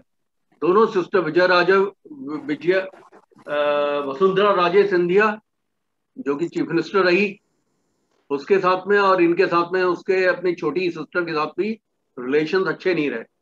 तो उसको यहाँ एक्सप्लेन किया गया। इसमें देखिए, आप स्कॉर्पियो लगन की कुंडली है ये। और स्कॉर्पियो लगन की, की कुंडली में ना तो कोई प्लैनेट है ना एस्पेक्ट है। और अनएस्पेक्टेड ये है स्कॉर्पियो लगन की कुंडली है कोई प्लैनेट इसका डी वन से डी थ्री में हम जाते हैं। पहले आप डी वन को इवेलुएट करते हैं। तो डी वन में स्कॉर्पियो लगन की कुंडली है उस लगन की कुंडली के ऊपर कोई एस्पेक्ट नहीं है किसी भी ग्रह का। यानी कि अनएस्पेक्टेड है अनरिफ्लेक्टेड है किसी तरह का उस पर प्रभाव नहीं है। उसका जो लगन का स्वामी है उच्च का होकर थर्ड हाउस में बैठा है। तो प्राइमरली यहाँ से उच्च का होने वाला ग्रह जो है पूर्व जन्म के कर्म दिखाता है तो वो यंगर सिबलिंग्स की तरफ़ को दिखा रहा है। गुरु जैसा प्लेनेट जो है, उनका इलेवेंथ हाउस में बैठा है, जो एल्डर सिबलिंग्स की तरफ़ को भी दिखाएगा। अब यहाँ पे, अब इसमें क्या है कि जो लगन का स्वामी, देशकांड जो है, इतना इंपॉर्टेंट प्लान भाव है कि उससे ये भी आपको समझ में आ जाता है कि एक आदमी रॉयल फैमिली में होगा कि नहीं होगा। रेशकांड का लगन का स्वामी उच्च का हो गया है। तो थर्ड हाउस में उच्च का हुआ है और थर्ड हाउस का एक्सटेंशन है द्रेशकांड चार्ट इसीलिए इनकी रॉयल फैमिली में इनकी बर्थ हुई थी और इनकी अपनी जो अपना व्यक्तित्व है, वो डायनेमिक व्यक्तित्व था। मतलब ये काफ़ी, आप जानते हैं पॉलिटिकल लाइफ में काफ़ी एक्टिव थे। सूर्य इनका चौथे हाउस में था, जो कि एस्पेक्टेड बाय राहु है। ये पिता की अर्ली डेथ को बताता है। आप देखिए, सबसे पहले हम जो इवेलुएट करते हैं, वो इवेल्युएशन हम हमेशा करते हैं डी वन से शुरू करते हैं, फिर डी थ्री पे जाके हम कंक्लूड करेंगे। तो राहु का नवम आस्पेक्ट पड़ा है, देखिए राहु यहाँ से। एक तो पिता भाव का जो कारक ग्रह है सूर्य, उसका डिस्पोजिटर शनि, वो भी अष्टम में है। और राहु का यहाँ से आस्पेक्ट है। तो राहु का आस्पेक्ट सात, आठ, नौ नाइन्थ आस्पेक्ट है। इसलिए इनके पिता की अर्ली मृत्यु हो गई थी। और आपको शायद मालूम होगा कि इनके इनकी माता जी जो है बहुत ही दबंग किस्म की जनसंघ में पहले आई उसके बाद बीजेपी में आई। तो और पुत्र जो है वो कांग्रेस में आ गया तो ये था। तो अब पोता दोनों जगह आ गया। है? पोता दोनों जगह आ गया में भी कांग्रेस में भी। ये भी, ये भी दोनों जगह थे? हम्म। शुरू में उसको उसका ज्योतिष से क्या मतलब है? नहीं अभी हम ना देश कांड को पढ़ रहे हैं तो हम उनकी हिस्ट्री की बात नहीं करेंगे। तो सूर्य जो है चौथे हाउस में है जो कि राहु से शेड दस्ट है और सूर्य का जो डिस्पोजिटर है यानी राशि का नाथ है वो अष्टम में है। इस वजह से अर्ली डेथ ऑफ़ फादर को बताता है। ये चीज़ मैं इसमें इंक्लूड कर दूँगा कि उसका डिस्पोजिटर या राशि का नाथ अष्टम में बैठा हुआ है राहु के साथ। इस वजह से इनके फादर की अर्ली मृत्यु हो गई। और चंद्रमा भी जो इनका राहु केतु एक्सेस में होने की वजह से जीवन चार्ट में माता के साथ में। इनको ये डिफरेंसेस को शो करता है। वो माता के साथ में डिफरेंसेस आप जानते हैं कि किस वजह से होते हैं। राहु केतु एक्सेस में और माता के साथ इसका जो डिस्पोजिटर है माता के भाव का वो अष्टम में बैठा राहु के साथ। तो इसकी वजह से माता से डिफरेंसेस इनके इनकी माता का नाम मैं भूल रहा हूँ विजया राजे सिंधिया है? विजया राजे सिंधिया। विजया राजे सिंधिया। विजया राजे सिंधिया जो है, वो बड़ी दबंग लीडर थी और वो जनसंघ में भर्ती हो गई थी, बाद में बीजेपी में आ गई और पुत्र जो है, कांग्रेस में था तो इनके आपस में इनकी बनी नहीं माता से ज़्यादा। वो साफ़ साफ़ कुंडली में दिख रहा है, राहु केतु एक्सेस में। फोर्थ का जो लॉर्ड है, वो अष्टम गत है, राहु के साथ बैठा हुआ है। और माँ का जो कारक प्लेनेट है, वो राहु और केतु एक्सेस में आ गया, शनि से दुष्ट है। तो शनि जो है मंगल के लग्नों में अत्यंत पापी माने जाते हैं। शनि का एस्पेक्ट भी खराब होता है। तो इस तरीके से आप देख सकते हो। अब आप आइए, जो पॉइंट हम बात करना चाह मंगल जो है, वो जो कोबॉन्ड्स का या सिबलिंग्स का कारक है, वो थर्ड हाउस में। डीवन में बैठा हुआ है तो कारको भावनाशाय के नियम को लगाते हुए डीवन के अंदर लगेगा वो नियम। तो ये उसने कोई ब्रदर उनको डिनाई किया। मंगल उच्च का है और एक कारण और भी है कि वो कोबॉन्ड्स को जो जो यंगर ब्रदर्स को जो उसने डिनाई किया है, उसका कारण है कि मंगल जो है अपनी शत्रु की राशि में बैठा हुआ है। वैसे उच्च का है, लेकिन उच्च का होने के बावजूद अगर आप देखें, इसका जो डिस्पोजिटर है मंगल का, वो भी अष्टमगत है, राहु के साथ है। तो इसका मतलब ये जो मंगल है ये थोड़ा कमज़ोर हो गया क्योंकि कोई प्लैनेट मैंने आप लोगों को जिस समय पुरानी क्लासेस में आपको बताया था कि गुरु अगर उच्च का है कर्क राशि का लेकिन उसका डिस्पोजिटर चंद्रमा अगर नीच का है तो ये गुरु उच्च के फल नहीं देगा। ये मैंने आप लोगों को बताया था पिट गया खराब हो गया। और ये षडाष्टक हो गया इसका। हाँ कोई भी ग्रह कोई भी ग्रह अगर उच्च का है और उसका राशि का नाथ नीच का हो जाए तो ग्रह का फलित में उच्च के होने का प्रभाव निरस्त हो जाएगा। तो इसलिए इनको को कोबाउंड्स में इनको कोई यंगर ब्रदर नहीं हुआ है। अब आप एक बात देखिए, इसमें मैंने लिखा है कि मंगल जो है, जो कोबॉन्ड्स का या उनके ब्रदर का कारक है, कारको भाव नौचाय की वजह से मंगल जो है वो थर्ड हाउस में होने की वजह से उसने इनको कोई ब्रदर डिनाई किया है। लेकिन उसका एक कारण और भी है, वो कारण है कि उसका डिस्पोजिटर शनि राहु के साथ में अष्टमगत है। ये भी इन सब बातों को मैं इसमें इंक्लूड करूँगा। लेकिन वीनस जो है, इस कुंडली के अंदर में वर्गोत्तम है। अब आइए वीनस पे। ये वीनस आप देखिए, मेष राशि के अंदर बैठा है और यहाँ पे भी मेष राशि में बैठा है, देशकांड में। तो उसका मतलब वर्गोत्तम हो गया है वीनस। वीनस वर्गोत्तम होने की वजह से उसने सिस्टर्स को डिनाई नहीं किया, क्योंकि थर्ड का भी लॉर्ड है। और उसके बाद फिर ये थर्ड से मैंने आपको बताया थर्ड वो नेक्स्ट सिस्टर का आएगा। या आ, मतलब इसमें जो शुक्र की पोजीशन के वर्गोत्तम हो जाने की वजह से इनको बहनें तो मिली हैं। और डी थ्री चार्ट में थर्ड हाउस और पंचम हाउस इन दोनों में फीमेल साइंस है। एक में है वृक्ष राशि और एक में है कर्क राशि। और लॉर्ड ऑफ़ द फिफ्थ जो मून है वो राहु केतु एक्सेस में है। पाँचवें का जो लॉर्ड है वो राहु केतु एक्सेस में उनके दो यंगर सिस्टर्स हैं उनकी और चूँकि पहली वाली जो सिस्टर है उनकी वसुंधरा राजे सिंधिया जो कि तीसरे भाव से आएँगी उनका सिस्टर का जो प्लेनेट है अपने से बारहवें चला गया उन्हीं के साथ में सबसे ज़्यादा इनको कॉन्फ्लिक्ट की स्थिति रही उसका कॉन्फ्लिक्ट का जो कारण है वो ये है कि इस कुंडली के अंदर लगन का स्वामी तो से है वो तो बड़ी बहन है से आएँगी। नहीं नहीं आप किसकी बात कर रहे हैं? आप आप माधवराव सिंधिया की बात कर रहे हैं। माधवराव सिंधिया की वसुंधरा राजे सिंधिया जो है छोटी बहन है। ये दो छोटिया छोटी बहनें हैं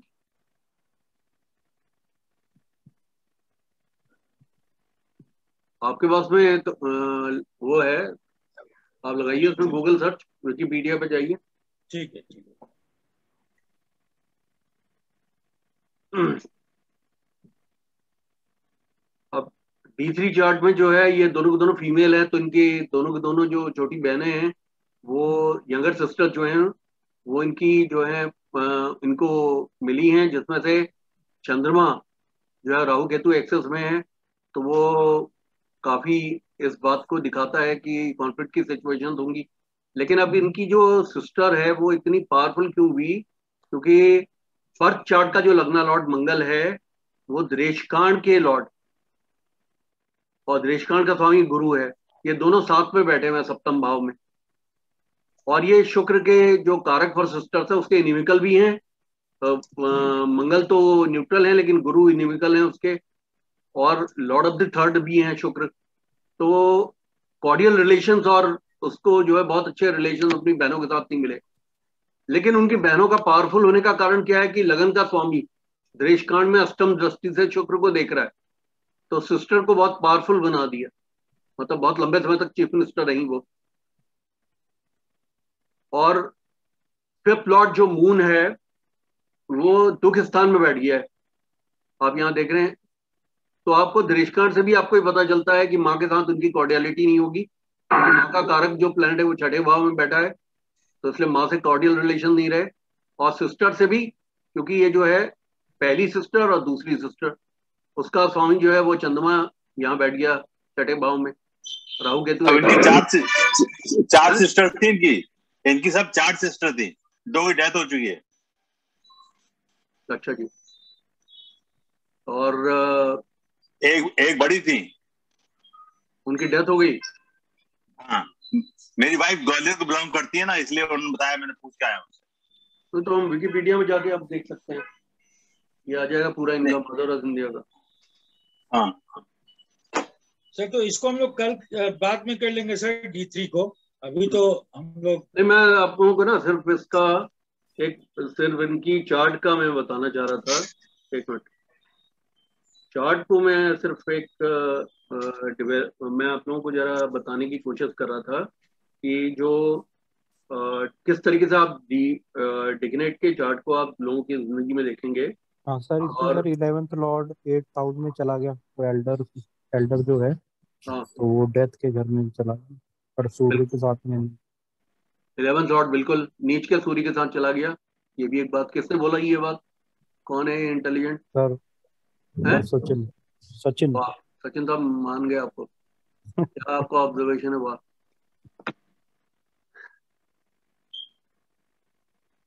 क्या बोले सचिन जी दोबारा बता दीजिए। Eleventh lord eleventh lord eight में राहु से अफेक्टेड है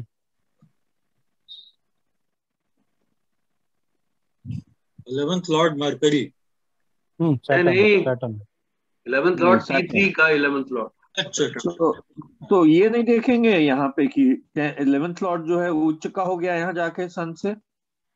कहाँ उच्च का हो गया? उच्च का तो हो गया लेकिन नीच के शनि के साथ आ गया ना जनाब। नीच के सूर्य के साथ है। नहीं नीच का सूर्य शनि के तो है। विपरीत राजयोग भी तो कर रहा है। लॉर्ड है। सन सन नीच का है। सर ये विपरीत राजयोग भी कर रहा है। गुरुजी अपना ये कारक जो शुक्र है हम्म। वो अपना क्या बोलते हैं? मंगल की राशि में इसके लिए दबंग टाइप की है और हाँ। खुद के साथ में रिलेशन नहीं बना क्योंकि मंगल और शुक्र का अगर डी थ्री में देखे तो षडाष्टक ही हो रहा है। तो हम्म। खुद के साथ तो जमा नहीं रिलेशन पर वो जो उसकी सिस्टर थी वो दबंग टाइप की रही क्योंकि वो मंगल की राशि में। ये एक हम्म। रीजन है सर ठीक कह रहे हैं आप। क्योंकि जो लेकिन सर राहु से है। सैटर्न है इलेवंथ लॉर्ड सैटर्न है वो तो उच्च का बैठा हुआ है एट हाउस में।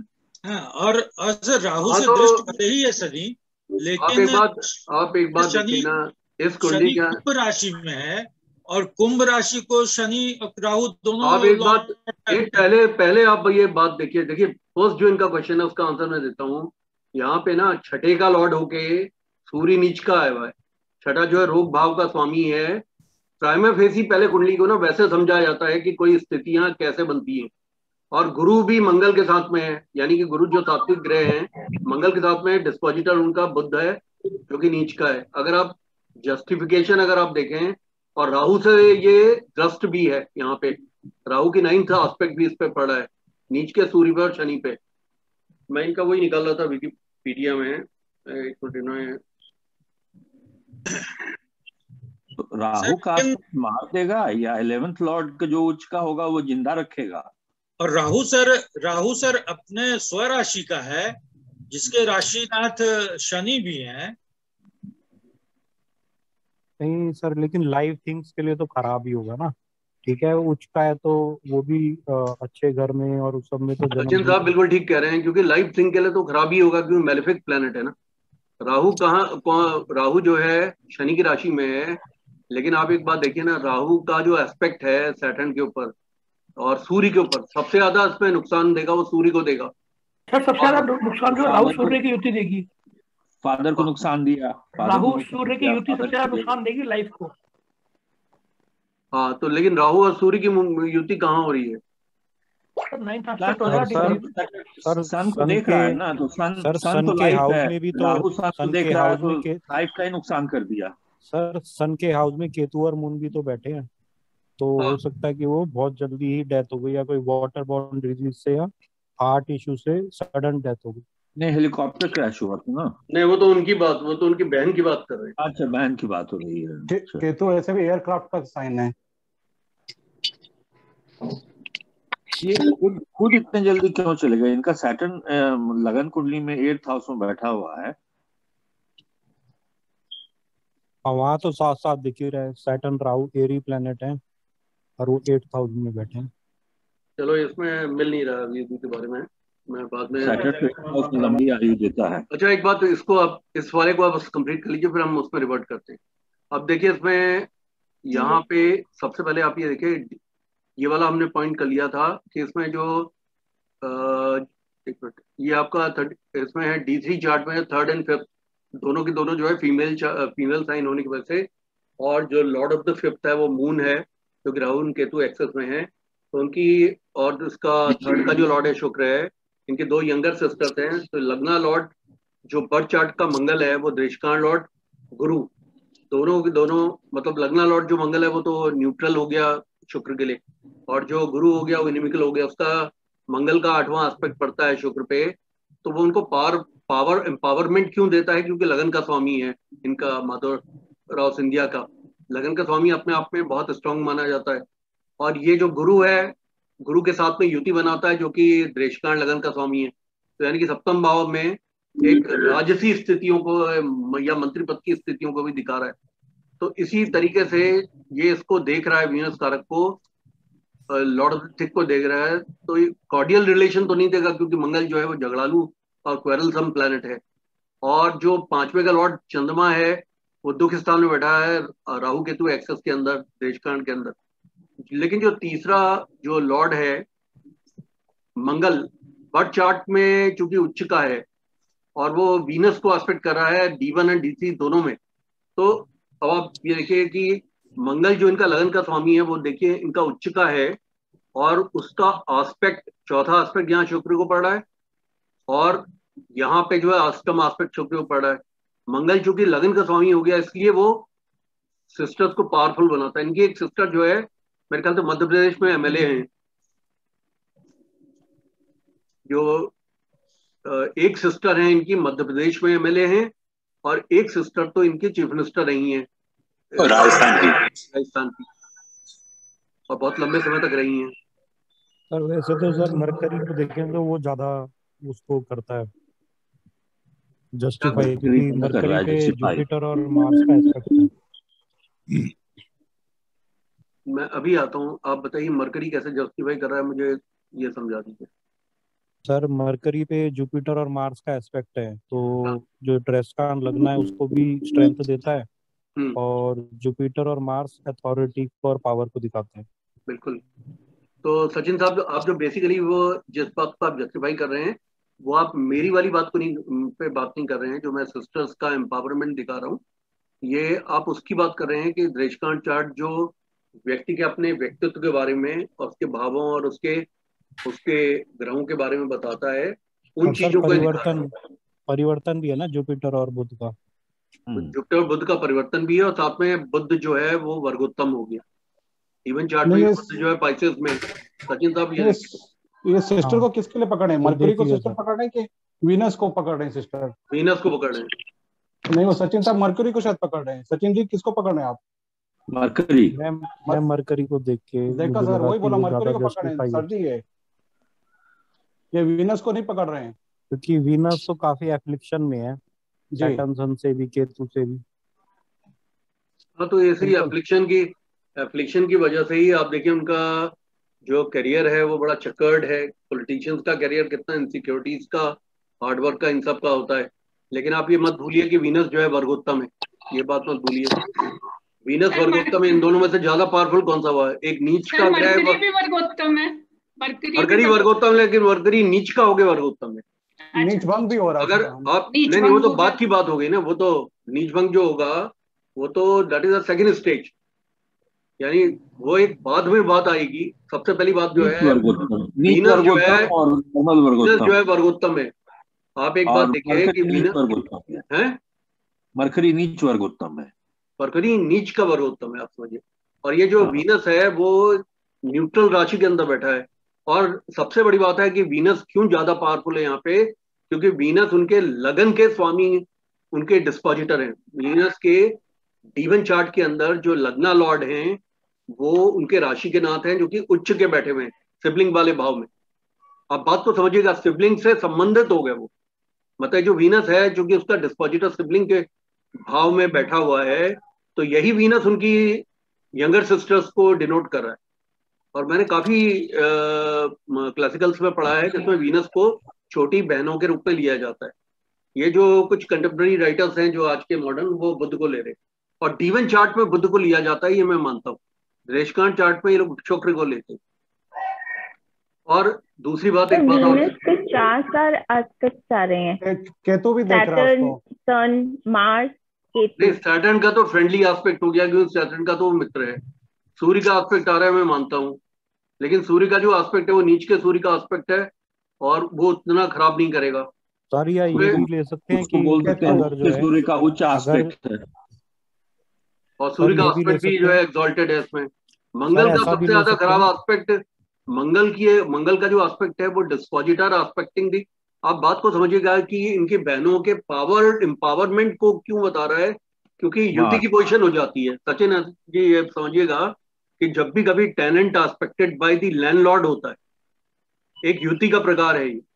Whenever tenant is aspected by the landlord या राशि लॉर्ड मंगल का जो अष्टम एस्पेक्ट है वो वीनस पे पड़ रहा है मंगल की राशि में तो ये एक युति का प्रकार बन जाता है। आपको मालूम होगा युति के पाँच प्रकार होते हैं। एक पहला प्रकार होता है एक ही राशि में कंजंक्ट होना दूसरा प्रकार होता है एक्सचेंज ऑफ़ लॉर्डशिप यानी कि एक राशि एक का राशिनाथ दूसरी राशि दूसरे का राशिनाथ जैसा आपने बुद्ध का और गुरु का यहाँ दिखाया। और तीसरा उसमें होता है नक्षत्र का एक्सचेंज और चौथा होता है म्यूचुअल आस्पेक्ट और जो पांचवा होता है डिस्पोजिटर एस्पेक्टिंग दी टेनेंट अगर राशि का नाथ अगर किसी ग्रह को अगर दृष्टि देता है तो भी युति का प्रकार हो जाता है। तो ये युति का प्रकार होने की वजह से एम्पावरमेंट को दिखा रहा है क्योंकि ये मंगल गुरु के साथ है। मतलब शुक्र जो है, आप एक बात देखिए ना, हम किसी ऑर्डनरी बात की बात नहीं कर रहे। प्रीवी पर्सन तो सभी के बंद हुए थे। लेकिन कितने लोग पॉलिटिक्स में गायकवाड़ से लेकर कितने यहाँ पे राजघराने तक जिनके प्रीवी पर्सन बंद हुए थे। लेकिन कौन कितने राजघराने के लोग जो हैं पॉलिटिक्स में इतने हाईएस्ट लेवल्स पे पहुँचे हैं? इन्हीं की सिस्टर्स पहुँची हैं। ये खुद पहुँचे हैं। ये खुद पहुँचने का तो आपको समझ में आ रहा है कि सप्तम भाव में गुरु और मंगल है और गुरु और बुद्ध का एक्सचेंज है और ये लगन जो है बहुत पावरफुल हो गई गुरु मंगल लग्नेश और नवमेश है। और दूसरा जो है गुरु गुरु और मंगल जो है लग्नेश नवमेश कैसे हो गया था? मंगल नवमेश है यहाँ का। मंगल यहाँ का यहाँ का नवमेश है ये। मतलब दीवन चार्ट का ये लग्नेश और पंचमेश है। नवमेश कैसे है? अगर अगर को इंडिपेंडेंटली देखें तो नाइन्थ टेंथ का दोनों का लॉर्ड है ना? सर जी नाइन्थ का लॉर्ड कहाँ हो गया? ये तो टेंथ का लॉर्ड हुआ नौ नंबर नौ नंबर टेंथ का लॉर्ड हुआ और आठ नंबर नाइन्थ का लॉर्ड हुआ। और तो जुपिटर मार्स कंजंक्ट है सेवेंथ हाउस में पद प्राप्ति का हाँ, ये ये आप ठीक कह रहे हैं। यहाँ पे नवम भाव और दसम भाव का आपस में संबंध भी बनता है अगर डी थ्री चार्ट को आप इंडिपेंडेंटली लेते हैं। ये होता है नंबर ऑफ़ माइंड्स अगर पढ़ते हैं किसी भी कुंडली के एनालिसिस में तो काफ़ी चीज़ें निकल आती हैं। और यहाँ पे भी आप देखिए यहाँ पे डीवन चार्ट का लग्नेश और पंचमेश है? सर पाप कर्तरी में भी है फिर तो सेवेंथ भाव। अगर विनयशील जी की बात सुने तो। हाँ तो पाप कर्तरी में होने की वजह ही जो है उनका कैरियर अप डाउन होता रहा। आप एक बात देखिए ना कि एक आदमी जो रॉयल उसमें रहा वो पैतालीस में फोर्टी फाइव में इनका बर्थ है। और प्रीवी पर्सन इंदिरा गांधी ने कब बंद किए? सेवेंटी वन में। हाँ। मतलब राज घराने का जो पैसा इन लोगों को इतना मैसिव मिला करता था इंडियन गवर्नमेंट से प्रीवी पर्सन जो कि के टाइम पे लुइस माउंटबेटन ने इनको साइन कराया था। कि इंडियन गवर्नमेंट को बाध्य किया था कि सभी रजवाड़ों को प्रीवी पर्सन दिए जाएँगे। वो प्रीवी पर्सन की वजह से ये लोग इंग्लैंड अमेरिका पूरे फॉरेन में घूमते थे। मतलब इनको कोई काम करने की ज़रूरत नहीं होती थी, उतना ही इनको पैसा मिलता था। लेकिन 1971 में अमेंडमेंट ला के कॉन्स्टिट्यूशनल तो आप ये समझिए, जो इंदिरा गांधी ने जब उनके प्रीव्यू वर्सेस बंद किया था सुप्रीम कोर्ट के जज ने कहा था क्योंकि प्रेसिडेंट हमेशा ऑर्डर करता है ऑर्डिनेंसेस पे तो उन्होंने कहा था कि हिंदुस्तान का जो प्रेसिडेंट है, वो कोई बादशाह नहीं है कि वो कॉन्स्टिट्यूशनल कॉन्स्टिट्यूएंट असेंबली के द्वारा रेटिफाइड और प्राइम मिनिस्टर और प्रेसिडेंट के द्वारा इंडिपेंडेंट इंडिया के पहले प्राइम मिनिस्टर प्रेसिडेंट के द्वारा साइंड एक एग्रीमेंट जो राजाओं के साथ में, जिसमें कि गवर्नर जनरल के भी साइन है लुइस माउंटबेटन को, उसको वो जो कि फॉर लाइफ था, उसको ओवरराइड कर दे। तो उनके एग्जैक्ट वर्ड थे कि जो प्रेसिडेंट ऑफ़ इंडिया किसी मुल्क का बादशाह नहीं है कि उसको चेंज कर दे। उसके बाद इंदिरा गांधी जो है अमेंडमेंट लेके आई थी कॉन्स्टिट्यूशन सर ये डी थ्री का लग्न लॉर्ड जो है अपना रेट्रोगेट है तो बिहेव करेगा मार्स की जैसा जैसा बताया आपने। जुपिटर अगर रेट्रोगेट होता है तो। हाँ तो आप एक बात देखिए ना पॉलिटिशियन की लाइफ के अंदर एक ही कुंडली से ना कई बातें निकलती है। मतलब ये अगर आप उसको बिल्कुल इंडिपेंडेंट चार्ट देखें तो मारक भाव में गुरु जो है वो जीव की रक्षा नहीं करेगा। मतलब अब आप अब मैंने आगे जो आप मुझे पढ़ने थे तो मैं आपको बताऊँ कि आज आगे क्या लिखा है। बाकी आप सारे के सारे जो है इस पे एनालिसिस कीजिएगा एज होम असाइनमेंट आप इसको बना लीजिएगा। इस चार्ट को अपने घरों में बना लीजिए। उसके बाद एनालिसिस करके आप मुझे नेक्स्ट क्लास में बताइएगा कि आपने और क्या पॉइंट निकाले। क्योंकि ऐसा है कि अब आप देखिए सेकंड द्रेशकांड में इनका जन्म हुआ था। मैंने इसके इसके आगे लिखा है। मुझे ना आप लोगों को म्यूट करना पड़ेगा बैकग्राउंड में इतना शोर आ रहा है, मैं आपको बता नहीं सकता कि ये बहुत गलत बात है। आप लोग जो अनम्यूट कर लेते हैं और बैकग्राउंड में शोर करते हैं। अब देखिए, इसमें पॉइंट मैंने लिखा है कि नेटिव जो है वो सेकंड द्रेशकांड में स्कॉर्पियो के पैदा हुए थे, जिसे पाश द्रेशकांड कहते हैं।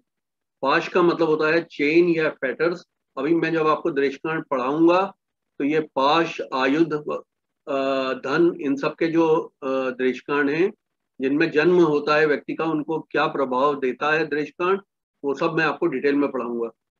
ये पाँच देशकांड में चूँकि ये पैदा हुए थे तो पाँच देशकांड का मतलब होता है चेन्स में होना फैटर्स में होना। फैटर्स जो है, कैदियों को जैसे पाँव में, हाथों में जो बेड़ियाँ पहनाई जाती हैं, या नूज, जैसे गले में जो रस्सी डाली जाती है। तो आप देखिए, रॉयल सीएन होने की वजह से वो काफ़ी एक डिसिप्लिन बाद में काफ़ी जो है अंडर कंट्रोल वो सब रहते थे।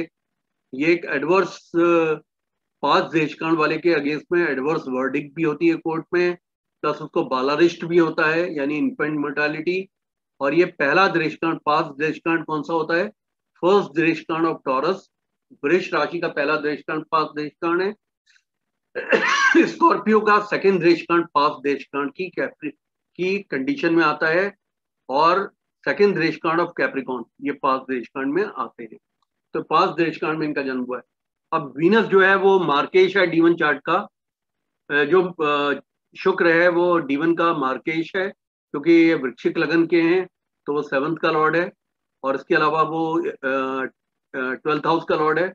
Third lord of D one D three Venus मार्केश of D one third lord of D three D three का वो थर्ड लॉर्ड भी है, जो कि अष्टम से अष्टम है। और डी थ्री में शनि, जो कि आकाश तत्व को दिखा रहा है representing air and Rahu from twelfth both in Akshay तत्व आकाशीय तत्व विद डेबिलिटेटेड सन इन्फ्लुएंसिंग खड़ देशकांड इसके अंदर देशकांड के अंदर बाईसवें देशकांड को खड़ देशकांड कहते हैं। और बाईसवां जो देशकांड होता है, वो देशकांड चार्ट के अष्टम भाव का देशकांड माना जाता है, जो कि मृत्यु के टाइमिंग को, मृत्यु के मोड को बताता है। और खर देशकांड या बाईसवें देशकांड के ऊपर से, जब भी कभी मेलेफिक प्लेनेट या बाईसवें देशकांड का मालिक, जब उसके ऊपर से कोई ट्रांजिट लेता है मेलेफिक प्लेनेट तो वो घर के अंदर मृत्यु तुल्य कष्ट देता है। तो एक हर देशकांड का होने की वजह से या बाईसवें देशकांड का होने की वजह से, नेटिव की जो डेथ हुई है, एयर क्रैश में हुई है, तीस सितंबर 2001 को। और उस समय दशा इनकी चल रही थी, गुरु में, राहु में, शुक्र में, गुरु में, मंगल। गुरु में, राहु में, शुक्र में, गुरु में, मंगल। अब आप देखिए, ये मारक भाव पे बैठे हुए गुरु मंगल है। अब आप लोगों को ये सोचने की ज़रूरत है कि इसने गुरु, राहु, शुक्र, गुरु, मंगल, इसने इनकी डेथ क्यों कराई है? जुपिटर और राहु दोनों के दोनों आयुध दृष्कांड के हैं। आयुध दृष्कांड का पीछे आप इसमें पढ़ सकते हैं कि आयुध दृष्कांड क्या होता है। आयुध दृष्कांड जो है, ये दिखाता है नेटिव आर्म विद वेपन मतलब उसके हाथ में जो है अस्त्र शस्त्र हो, वो झगड़ा करने के लिए निकला हो युद्ध भूमि पे। एक प्लेनेट इसके अंदर बड़ा वायलेंट माना जाता है क्रूअल माना जाता है क्रूर माना जाता है इंटॉलरेंट क्लियर माना जाता है। आयुध दृष्कांड का गुरु और राहु का होने की वजह से, उसका भी इस मृत्यु में हाथ है, क्योंकि जो हेलीकॉप्टर के क्रैश में आदमी बर्न हो जाता है। जर्नी जो है, इसमें कोई भी यात्रा की जाती है अगर आयुध दृष्कांड के अंदर, इस दृष्कांड में मुहूर्त के टर्म्स में तो व्यक्ति को या तो पराजित करती है, चाहे वो लॉस हो, चाहे लिटिगेशन हो, इस तरह की चीज़ें करती हैं। तो आयुध दृष्कांड कौन से होते हैं कि पहला और तीसरा दृष्कांड जो मेष राशि का और धनु राशि का आयुध दृष्कांड है, दूसरा और तीसरा दृष्कांड मिथुन और सिंह का दृष्कांड आयु दृष्कांड होता है। पहला और दूसरा कन्या का दृष्कांड जो है, वो आयु दृष्कांड होता है। लिब्रा और मकर का तीसरा दृष्कांड आयु दृष्कांड होता है दूसरा पाइसस का ये दृष्कांड होता है।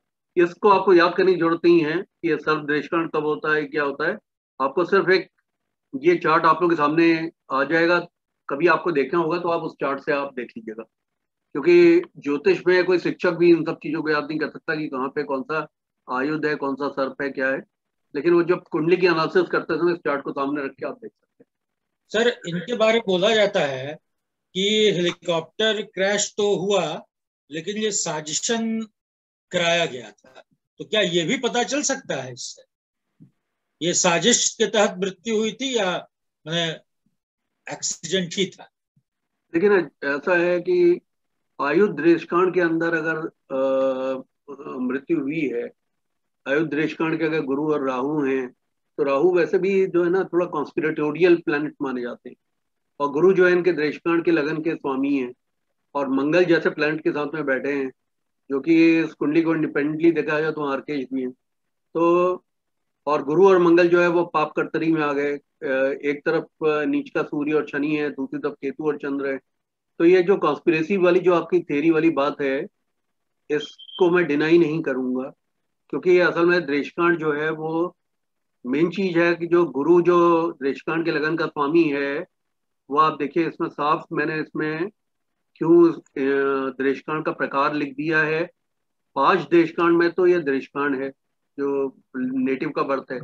लेकिन जब ये इनकी मृत्यु हुई है, वो मृत्यु के समय एक तो बाईसवां दृष्कांड उदित हुआ है, जो कि एट्थ हाउस डी थ्री के एट्थ हाउस का दशा के अंतर्गत। और अष्टम भाव का दृष्कांड है। और एयर क्रैश में जो 30 सितंबर को जब उनकी मृत्यु हुई है तो गुरु राहु आए हुए गुरु महादशा के राहु और गुरु और राहु दोनों दोनों के दोनों आयुध दृष्कांड के आयुध दृष्कांड के जो संबंध है, वो एक बैटल ग्राउंड से होता है। आप एक सिंपल सी बात है कि जब भी कोई व्यक्ति तलवार खींच के बैटल ग्राउंड पर जाएगा आपको यूँ समझने की ज़रूरत है कि जैसे ना, नेम सजेस्ट करता है। आयुध का मतलब ही होता है आर्सनल से उसका वेपनरी से मतलब वेपन से। मतलब है। तो आप समझिए ग्राउंड ऑफ़ बैटल में अगर कोई जा रहा है तो नेचुरली उसको बैक स्टेप भी किया जा सकता है। तो आपकी बात में दम है। अब मैं यहाँ से इसको स्टॉप शेयर कर रहा हूँ because not not much of मैं आपको एक चीज़ और दिखाना चाहता हूँ, वो मैं क्विकली आपको दिखा के फिर मैं यहाँ से स्टॉप करूँगा, क्योंकि मैं चाहता हूँ कि आप लोग इस पर वर्क करें अपने घर में। रेशकांड चार्ट से डिजीजेस के बारे में पता चलता है, और जो इसमें क्या है कि ज़ीरो से दस तक में आपके cranium cranium cavity cranium cavity मतलब ये स्कल से आपके फेस तक आता है, और नेक से नेवल तक का जो पोर्शन है डिजीजेस में ऑर्गन्स द्वितीय दृष्टिकांड में आते हैं और जो द्वितीय दृष्टिकांड है वो पेल्विस गर्डल पेक्टोरल या पेल्विक गर्डल से सोल ऑफ़ द फीट तक आता है। तो इसमें डिजीजेस का आपको कैसे पता चलेगा? आप अपनी कुंडलियों पे दृष्टिकोण लगा के आपको डिजीजेस का पता चलेगा। उसके दो तरीके हैं। एक है, मेष लगन की आपको तीन कुंडलियाँ बना देनी है, क्योंकि डिजीजेस हमेशा जो है मेडिकल एस्ट्रोलॉजी में काल पुरुष की कुंडली से देखी जाती है। आपने उसके बाद उसमें पोस्टिंग करनी है जो ग्रह आपका जिस दृष्कांड का है, उस दृष्कांड के अनुसार आपने उसको पोस्ट करना है। जिस राशि में है, उस राशि से वो कितना चल रहा है। अब एक बात है कि आपके पास ऑलरेडी ये निकला हुआ है इनका। अब जैसे माधव ऑफ़ इंडिया का दृष्कांड निकला हुआ है, वैसे आपका भी दृष्कांड निकला हुआ है। तो दृष्कांड तो उतना ही चलेगा वो ग्रह। अब आपको मेष राशि में उसको पोस्ट कर लेना है। अब आपने मेष राशि में अगर उसको पोस्ट कर लिया तो आपने देख लेना है जो सेकंड दृष्कांड का अलग अलग करना है आपने। तीन कुंडलियाँ बनानी है। प्रथम दृष्कांड के प्रथम में करने हैं। सेकंड दृष्कांड के सेकंड में करने हैं। सेकंड कुंडली में। थर्ड दृष्टांत के आपको थर्ड कुंडली में करने हैं।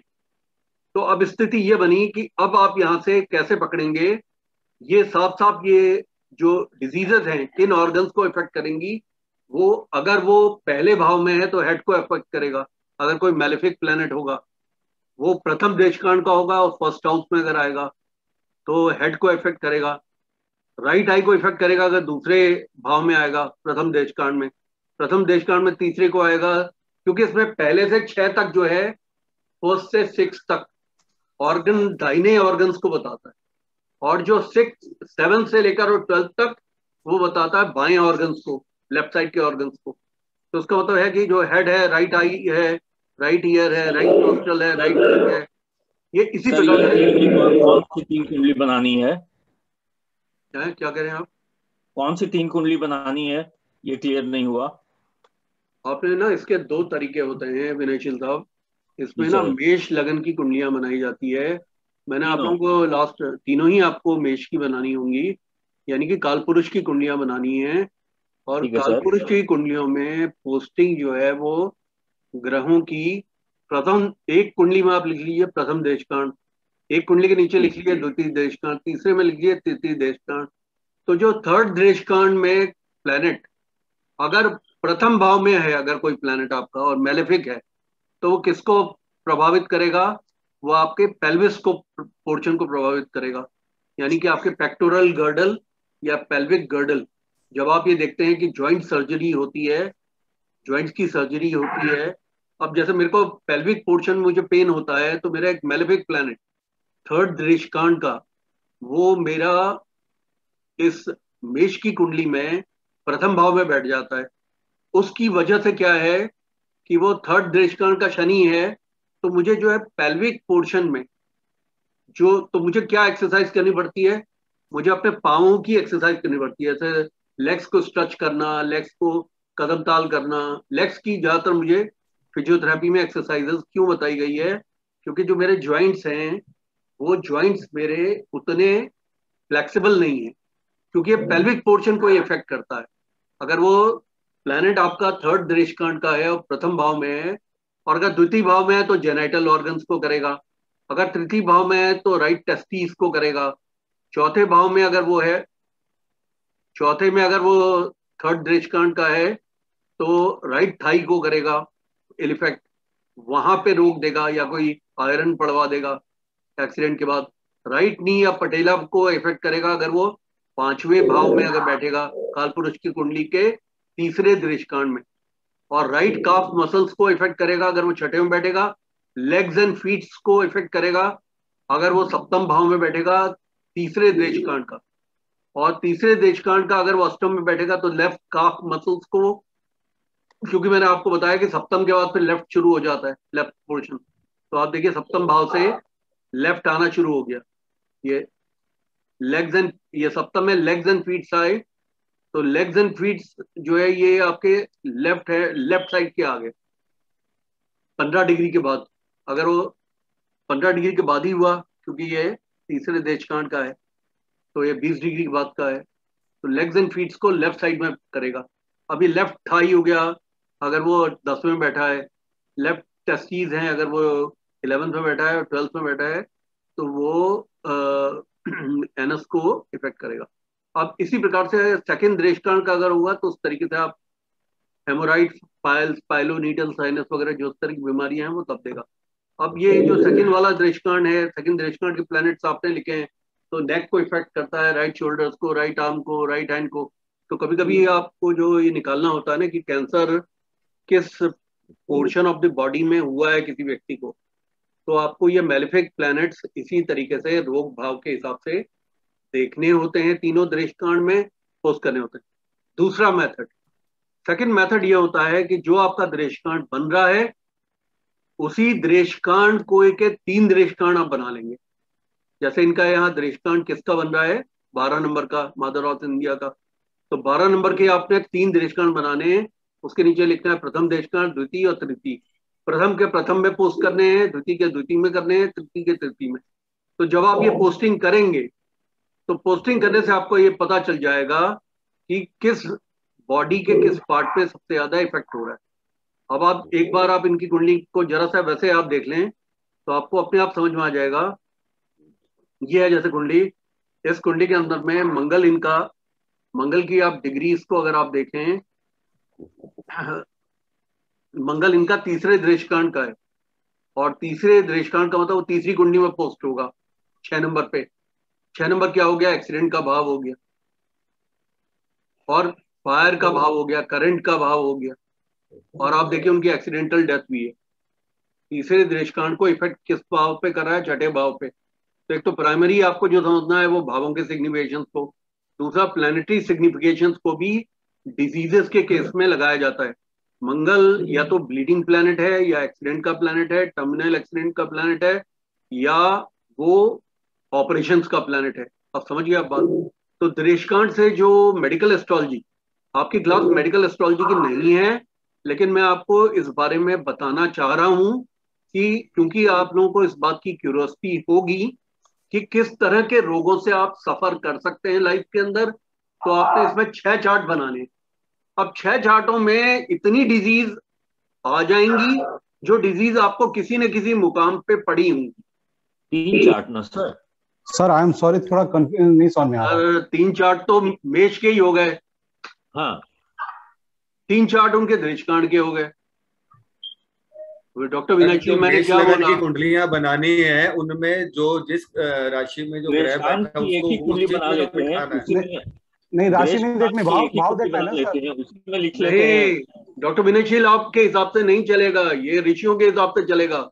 ऋषि ये कह रहे हैं कि आप बात समझिए आपने हरि श्री हरि विष्णु की कुंडली जो काल पुरुष की कुंडली है वो तीन मनानी है। तीन मना के आपने प्रथम देशकांड के प्लेनेट जिस राशि में पोस्ट है वहाँ पोस्ट कर देने। दूसरे देशकांड के जो राशि में उस राशि में पोस्ट करने। तीसरे देशकांड के राशि में उसमें पोस्ट करने। फिर तीन कुंडली आपने नीचे बनानी है उनके देशकांड की। इनका दृष्टकांड जो है वो मीन राशि का है मीन के तीन बनेंगे। पहले दृष्टकांड में जो उनका ग्रह है वो आप उस डिग्री से यहाँ से आपको दिख जाएगा कौन सा पहले दृष्टकांड का है। उस ग्रह को उस राशि में पोस्ट करेंगे। बाकी आपको नौ प्लेनेट को नहीं पोस्ट करना। है? नहीं समझ में आ रहा है? सर सब ऊपर से नहीं सर बाउंसर जा रहा है सर ईमानदारी से। जैसे मार्स का एग्जांपल लेते हैं सर मार्स जो है अपना थर्ड इस पे क्या कह रहे हैं डॉक्टर मुनेजिल आप क्या कह रहे हैं? पहले आप बताइए। मैं राजेश सर बाउंसर जा रहा है। बैटिंग कर नहीं पाएँगे सर ऐसा है बाउंसर डॉक्टर साहब आपके केस में तो नहीं जाना चाहिए क्योंकि आप इतने लर्नेड आदमी आपको मैंने क्या बोला है? मेरी एक मिनट आप कंसंट्रेट नहीं कर रहे मेरी बात सुनिए। कहाँ तक आप समझे हैं वो मुझे आप समझाइए। हम समझे हैं कि द्रेशकान कुंडली समझ गए और नहीं वो नहीं मैं डिज़ीज़ को लेके बता रहा हूँ कि जो मैंने आपको मेष लगन की कुंडलियाँ बनाने की बात की है डिज़ीज़ को पकड़ने के लिए बना ली मैंने अपनी। कितनी बना ली आपने? तीन कुंडली बना ली। तीन कुंडली बना ली। अब तीन कुंडलियाँ उसके नीचे आप अपनी दृष्कांड की बना लीजिए। तीनों मेष के नीचे तीनों दृष्कांत की बना लें। जहाँ आपने प्रथम प्रथम देशकांड की जो मेष की कुंडली बनाई है उसके नीचे प्रथम देशकांड की अपने देशकांड एक्चुअल देशकांड की कुंडली बना लीजिए। ग्रह भी पोस्ट मत कीजिएगा। ठीक है। जहाँ आपने दूसरी मेष लगन की कुंडली बनाई है जिसमें आपने सेकंड देशकांड लिखा है उसके नीचे अपने देशकांड कुंडली की आप दोबारा एक इसी देशकांड कुंडली को आप इसी देशकांड कुंडली का जो आपकी कुंडली है देशकांड कुंडली उसकी एक उसके नीचे बना लीजिए सेकंड देशकांड की। ठीक है। थर्ड दृष्टकांड की जो आपने मेष की बनाई है उसके नीचे आप थर्ड दृष्टकांड की यही कुंडली बना लीजिए बारह नंबर की। जैसे माधवराव सिंधिया के केस में बारह नंबर है। आपके केस में कौन सा है दृष्टकांड का लगन? कन्या है। कन्या है। कन्या ठीक है ठीक है। तो प्रथम आपने जो कन्या की आपने बना ली ठीक है? कन्या की बना ली। अब आपने क्या करना है कि आपने जो प्रथम देश कांड में जो आपके ग्रह हैं वो आप अपनी कुंडली से देखिए। कौन कौन से ग्रह आपके? प्रथम देशकांड में और देशकांड की कुंडली में किस राशि में पोस्ट हुए? अच्छा। उसी तो राशि में आप पहले वाले में पोस्ट कर दीजिए उनको। प्रथम में सिर्फ़ सूर्य है तो सूर्य को आ, और किस राशि में आपका? किस राशि में है? सूर्य सूर्य वृक्ष राशि में है तो नवम में पोस्ट कर दें सूर्य को। तो पहले वाले में तो आपने सूर्य को नवम में कैसे कर देंगे? जनाब सूर्य आपका ऐसा है सूर्य आपका द्रेशकांड कुंडली अब आप अपनी देखिए। आप अपनी द्रेशकांड कुंडली आप डीवन क्यों देख रहे हैं? द्रेशकांड कुंडली में देख रहे हैं। पहले आप तो डीवन में आपने डीवन में डॉक्टर विनयशील आपने ये देखना है कौन सा प्लेनेट आपका दस डिग्री तक है? उस प्लेनेट को आइडेंटिफाई कीजिए पहले। सूर्य सूर्य। सूर्य है। अब सूर्य आप देखिए आपकी दृष्टान कुंडली में कहाँ बैठा है? किस राशि में बैठा है? टॉरस में। टॉरस टॉरस में नाइन्थ हाउस में। तो आप नाइन्थ वाइन्थ भूल जाइए। नाइन्थ की अब कोई बात नहीं हो रही है। टॉरस में। टॉरस में तो मेष वाली जो आपकी कुंडली बनी है प्रथम देशकांड की उसमें वो सेकेंड हाउस में उसको पोस्ट कीजिए। कर दिया। अब जो आपने दूसरी कुंडली आपने बनाई है छह नंबर की जी सर। छह नंबर की कुंडली में वो आ, बैठेगा नाइन्थ हाउस में। नाइन्थ हाउस में। यस सर तो कर दीजिए उसको नाइन्थ हाउस में पोस्ट कर दिया सर। अब ये। अब इसका क्या होगा? कि नाइन्थ हाउस में चूँकि ये पोस्ट हो रहा है प्रथम दशकांड का है तो आपको ना सूर्य जो है वो आपको माउथ से रिलेटेड मतलब सेकंड देशकांड में प्रथम प्रथम देशकांड के अंदर। प्रथम देशकांड में द्वितीय भाव में बैठा हुआ जो प्लेनेट है वो आपको क्या रोक देगा? वो ये चार्ट बना हुआ है। पहले तो आपने वो देखना है कि सूर्य से संबंधित क्या रोग देता है। अब आपको राइट आई की कोई प्रॉब्लम ये क्रिएट कर सकता है। अच्छा। और उधर नाइन्थ हाउस में आ रहा है। तो नाइन्थ हाउस का मतलब ये है कि नाइन्थ हाउस में का मतलब हो गया लेफ़्ट चीक की प्रॉब्लम कर सकता है। तो उसका मतलब आपको बेल्स पॉलिसी हो सकता है। अच्छा। कभी हुआ है बेल्स पॉलिसी इंतज़ार है। इंतज़ार का क्या मतलब है? अभी तक नहीं हुआ है। सर दशा दशा आएगी तभी तो होगा। इंतज़ार है तो बोला इंतज़ार है। नहीं नहीं ऐसा नहीं। तो डॉक्टर वैसा है अब आप कर सकते हैं? हैं। अवॉइड भी कर सकते हैं विनय जी आप हाँ। आप इंतज़ार क्यों आप सूर्य की उपासना करके अवॉइड कर सकते हैं। दूसरा सूर्य किस चीज़ का कारक है? सूर्य है टोबैको का कारक तंबाकू का कारक। ये सेकेंड हाउस में जो कि काल पुरुष की कुंडली में बैठा हुआ है सेकेंड हाउस में। मैं ये नहीं कहता कि आप तंबाकू खाते होंगे लेकिन अगर कभी किसी मित्र ने आपसे कहा यार एक चुटकी खा के देख लो क्योंकि आजकल जो है वो शाहरुख खान भी कह रहा है विमल जैसा कुछ नहीं। और वो दूसरा मेरे ख्याल से वो कह रहा है जो हमारा सिंघम था सिंगम अजय देवगन। तो कहीं आपसे कोई कहे कि यार ये तंबाकू खा के आदत बना लो तो आपने वो नहीं करना है क्योंकि ये सूर्य टोबैको का कारक है और ये आपके चूँकि कालपुरुष में रोग में द्वितीय भाव में बैठा है तो you have to be very very careful about all of these products which are connected with the alcohol or tobacco because they are going to cause any problem in the face area. उसमें face पे और उसके भी उसमें अगर आप सूक्ष्मता में जाएँगे तो राइट आई को ये इफ़ेक्ट कर सकता है। अब आप बताइए आप चश्मा पहनते हैं क्या? पहनते हैं। अब आपका चूँकि आप डॉक्टर हैं तो आप बता सकते हैं कि आपका माइनस है कि प्लस है? माइनस है। माइनस आपका दोनों आईज का क्या है? सिलिंड्रिकल है या नॉन सिलिंड्रिकल नॉन सिलिंड्रिकल है माइनस दोनों आई का डेढ़ है one point five one point five है। हाँ तो ये ज़्यादा नहीं है। लेकिन आपको यू हैव टू बचपन से कभी चोट लगी है आपके लेफ़्ट आई में? नहीं लगी है लेकिन बचपन में जब क्लास फिफ्थ सिक्स सेवेंथ में थे तो सर्कस में वो मुर्गा नहीं दिखा तो सातवें क्लास से लग गया चश्मा। सर्कस में वो तोता नहीं दिखा। तो, तोता जो बंदूक छोड़ता है तोप चलाता है तो तोता ही नहीं दिखा। आप ये समझिए इतना बड़ा आपको तोता नहीं दिखा। आपको इसी बात का शुक्र मनाना चाहिए कि आपको सर्कस दिखाई पड़ गया। डेढ़ नंबर तो ज़्यादा नहीं है लेकिन। नहीं वो तो डेढ़ नंबर तो अब हो गया होगा। मुझे मुझे यकीन है कि वो थोड़ा फिगर्स के मामले में हमारे डॉक्टर विनय शील वो थोड़ा घर की सी खेती करते हैं। ये उल्टा होगा। 1.5 के मतलब 50.1 होगा। 5.1 5.1 होगा। 1.5 है सर अच्छा 1.5 है। बहरहाल आप समझ गए ना मेथड क्या है? मेथड मैंने आपको बता दिया है। जो दोनों मेथड्स हैं अब आप एक बताइए कि आपको जो है राइट लेग में आपको कभी चोट लगी है? राइट लेग में कोई आपको पेन होता है? फीमर में या पेल्विक से नीचे पटेला से ऊपर? हाँ पेल्विक से पट नी में नी में कभी कभी नी में दोनों पैर में कभी कभी होता है। ओके तो ज़्यादा खेलने से ज़्यादा ज़्यादा दौड़ने से ज़्यादा चलने से या नहीं चलने से ज़्यादा सीडेंटरी रहने आप सीमा जी आप बताइए। डॉक्टर मैं आपको म्यूट करूँगा क्योंकि आप काफ़ी बोल चुके हैं। सीमा जी का टर्न आ गया। हाँ सीमा जी आप बोलिए। सर मेरा ये क्वेश्चन था कि किसी भी डिविजनल चार्ट में अगर लगन लॉर्ड सिक्स भाव या एट भाव में चला जाए लेकिन वो एग्जॉल्टेड हो हम्म। तो उस केस में हम उसको कैसे इंटरप्रेट करेंगे? आपका एग्जॉल्टेड है? जैसे वीनस के केस नहीं में नहीं एक मिनट एक मिनट आपकी ना थोड़ी वॉइस बीच में स्टैटिक चली गई। थोड़ा एक बार फिर रिपीट कर दीजिए।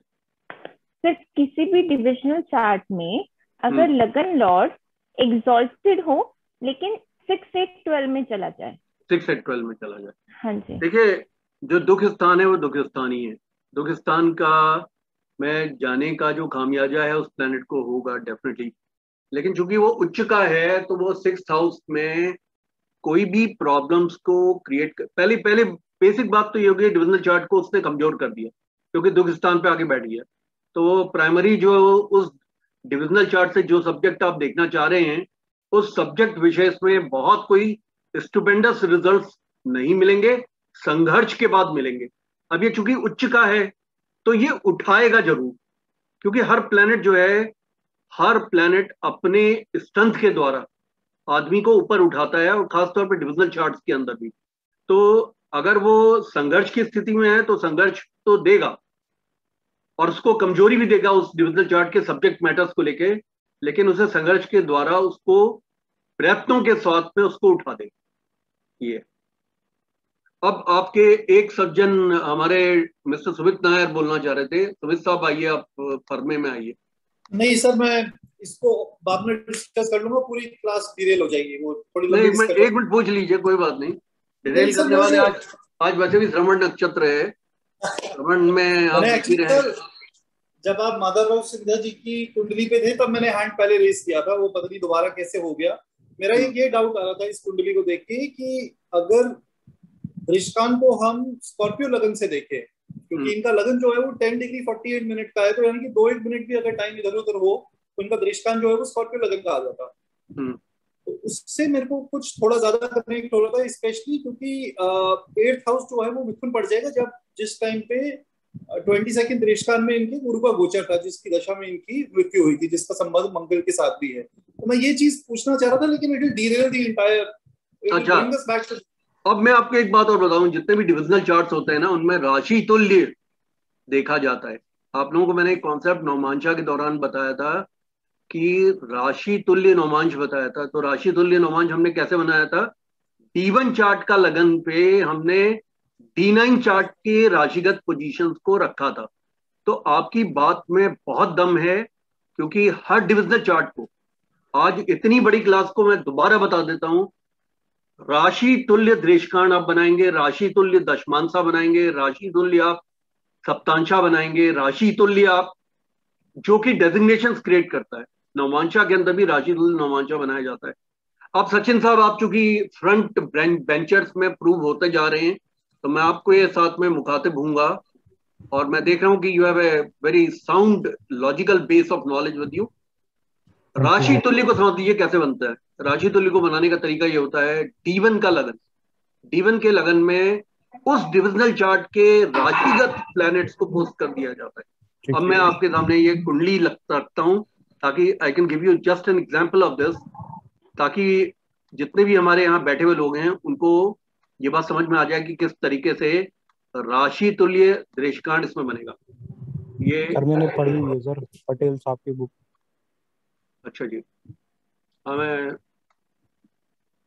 एक मिनट जो इन्होंने बोला है ना मैं उसी को इनको दिखा रहा हूँ। अब आपने राशि तोली अगर आपने बनाना है तो कैसे आप बनाएँगे? आपने आठ नंबर का इनका लगन है तो आपने इसको लगन को ही घूम, इस इस लगन पे ही आपने नौमांशा की पोस्टिंग कर देनी ये इनका आठ नंबर का लगन है। तो आठ नंबर के लगन पे ही आपने द्रेशकांड के प्लैनेट्स को पोस्ट करना है।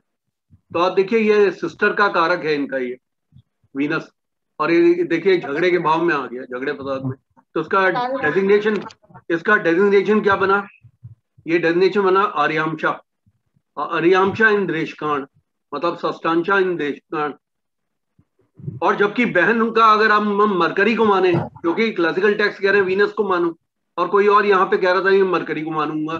तो मरकरी को अगर हम माने तो तो पंचमांशा हो गया। पंचमांशा और शुभांशा और त्रिकोणांशा। इसके तीन डेजिग्नेशन देशकांड के अंदर हो गए। पंचमांशा शुभ हो गया। शुभ हो गया। त्रिकोणांशा और इसके अलावा शुभांशा। ये तो बहुत शुभ हो गया। बहनों के साथ तो बहुत ही प्यार मोहब्बत होनी चाहिए। राखी तक बदवाने नहीं जाते थे। और देखिए, जो शुक्र है, वो इनका हो गया आर्यांशा या सष्टांशा और पापांशा। पापांशा मतलब पाप की राशि में बैठ गया। मतलब इसमें सूर्य में बैठे, सूर्य की राशि में बैठे, मंगल की राशि में बैठे, शनि की राशि में बैठे, ये सारे पापांशा हो गए।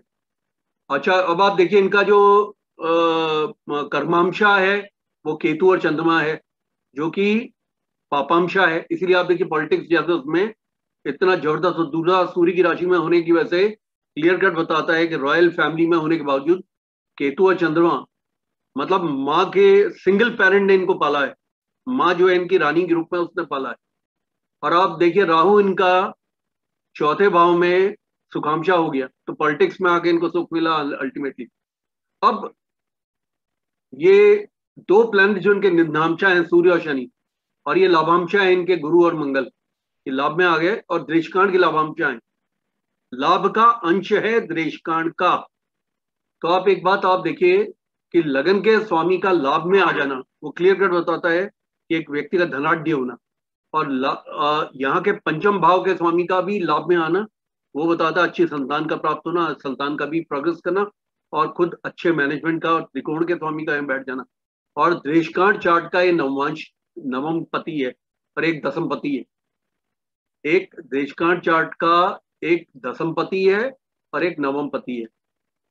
जो देशकांड चार्ट का दसमपति है, वो देशकांड का लग्ना लॉर्ड भी है, मंगल गुरु।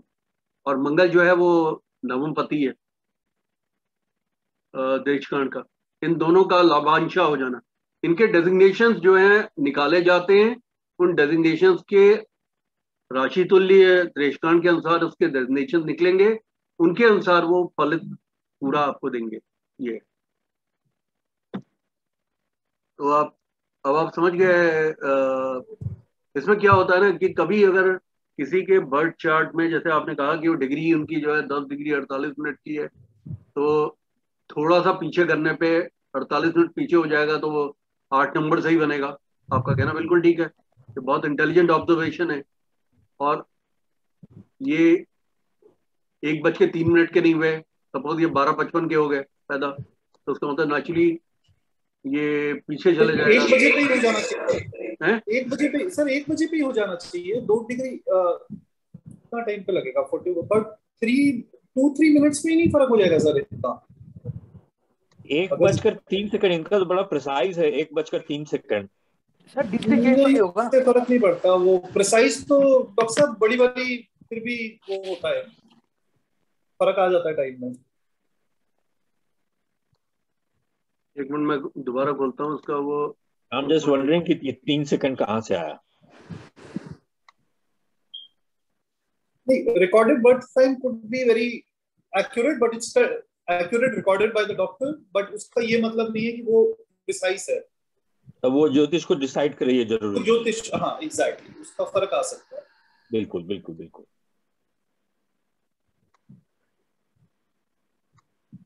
मैं इनका पीछे कर रहा हूँ। इनका बारह बज के छप्पन मिनट में जाके इनका जो देशखान है चेंज हो रहा है। ट्वेल्व फिफ्टी सिक्स अच्छा। और मैं दस दस सेकेंड आगे बढ़ा के देखता हूँ ना। बीस सेकेंड आगे कर दिया तो बारह छप्पन सत्रह पे वृक्ष का गुरु zero degree zero degree zero degree zero degree का गुरु है इनका। तो वो भी इधर उधर हो सकता है। नहीं जी वो डिग्री तो नहीं। वो नहीं होगा, वो हमेशा प्रथम देशकांड में ही होगा।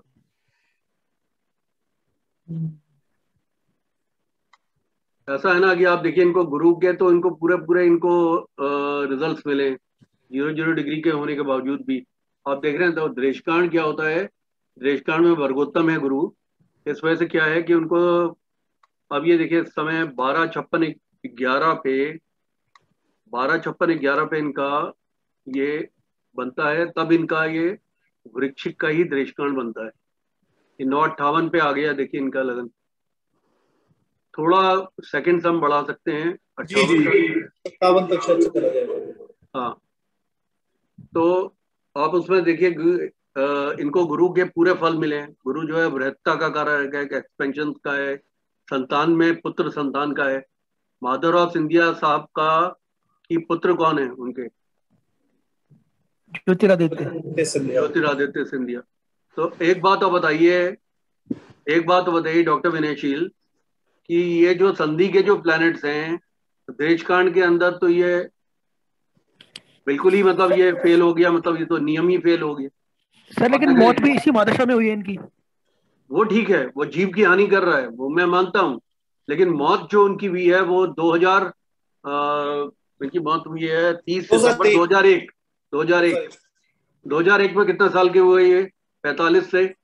45 से हो गए आपके 55 हो गए 2000 में। छप्पन। 56 ईयर्स तो आप एक बात ये बताइए कि गुरु विश्वामित्र साहब अगर इनको मौत दे रहा है तो छप्पन साल की उम्र में दे रहा है। अच्छी बात है मेच्योर्ड एज है। बालारिश तो नहीं हो रहा ना बारह साल के पहले डेथ हो रही है। का कारक है जबकि सेकंड लॉर्ड भी है ना वो तो दो लॉर्ड दे सकता है वो। बात वो बात नहीं है आपको बात को यूँ समझना होगा कि जो संधि का नक्षत्र का जो ग्रह संधि के का ग्रह ज़ीरो ज़ीरो डिग्री का उस ग्रह की स्थिति आप देखिए वर्गोत्तम हो जाने से। ग्रेश कांड कितना पावरफुल चार्ट है मतलब डिविजन चार्ट आपको एम्पावरमेंट देते हैं आपको समझाते हैं। गुरु जी एक बात नहीं समझ में आ रहा है कि थोड़ा सा एडजस्ट किया हमने कुछ सेकंड कुछ मिनट और इनका सूर्य जो है नीच से आ गया कुंभ का।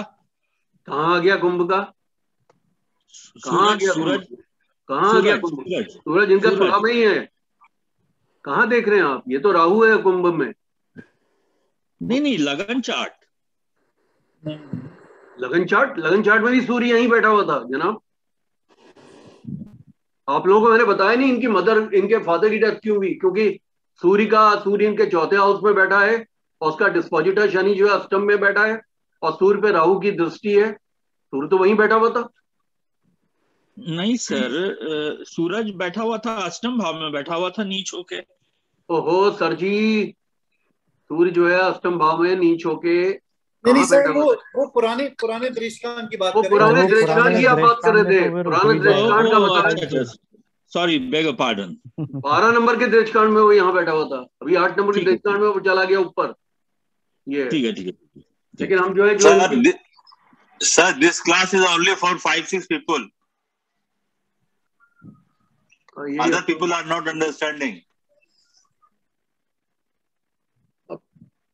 इसका एक ही तरीका हो सकता है कि लोग जो है प्रश्नों को देखिए आप बात समझिए। प्रदीप दलिया साहब बिल्कुल ठीक बात कह रहे हैं। क्योंकि इसमें क्या हो रहा है कि मेरे को बोलने का मौका बहुत कम मिल रहा है और आप लोगों को बोलने का मौका बहुत ज़्यादा मिल रहा है। इससे आपको फ़ायदा नहीं होने वाला, एक बात मैं आपको बता दूँ, क्योंकि पैंतीस साल का मेरा प्रैक्टाइजिंग एस्ट्रोलॉजी का अनुभव है। 98 से मैं पढ़ा रहा हूँ, मैं अपने अनुभव से आपको पढ़ाना चाहता हूँ। अगर आप हर चीज़ को क्वेश्चन करने लगेंगे और मेरे पढ़ाने के बेसिक उस पर ही अगर आप उठाराघात करेंगे और आप मुझे बताने की कोशिश करेंगे जैसे मंगला साहब ने या प्रताप सिंह साहब ने वो उसको अर्थमेटिकली बता दिया मुझे समझा दिया। वो समझा के और कंफ्यूज करने की कोशिश की फिर मुझे पूरा एक्सप्लेनेशन उन लोगों को करना पड़ा कि इसका इससे कोई मतलब नहीं बनता।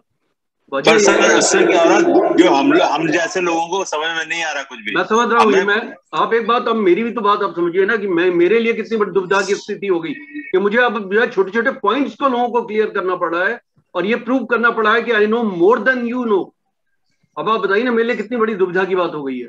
वो सर है आज। आज आपने जो चंद्रमा इसलिए इसलिए सब हो रहा है।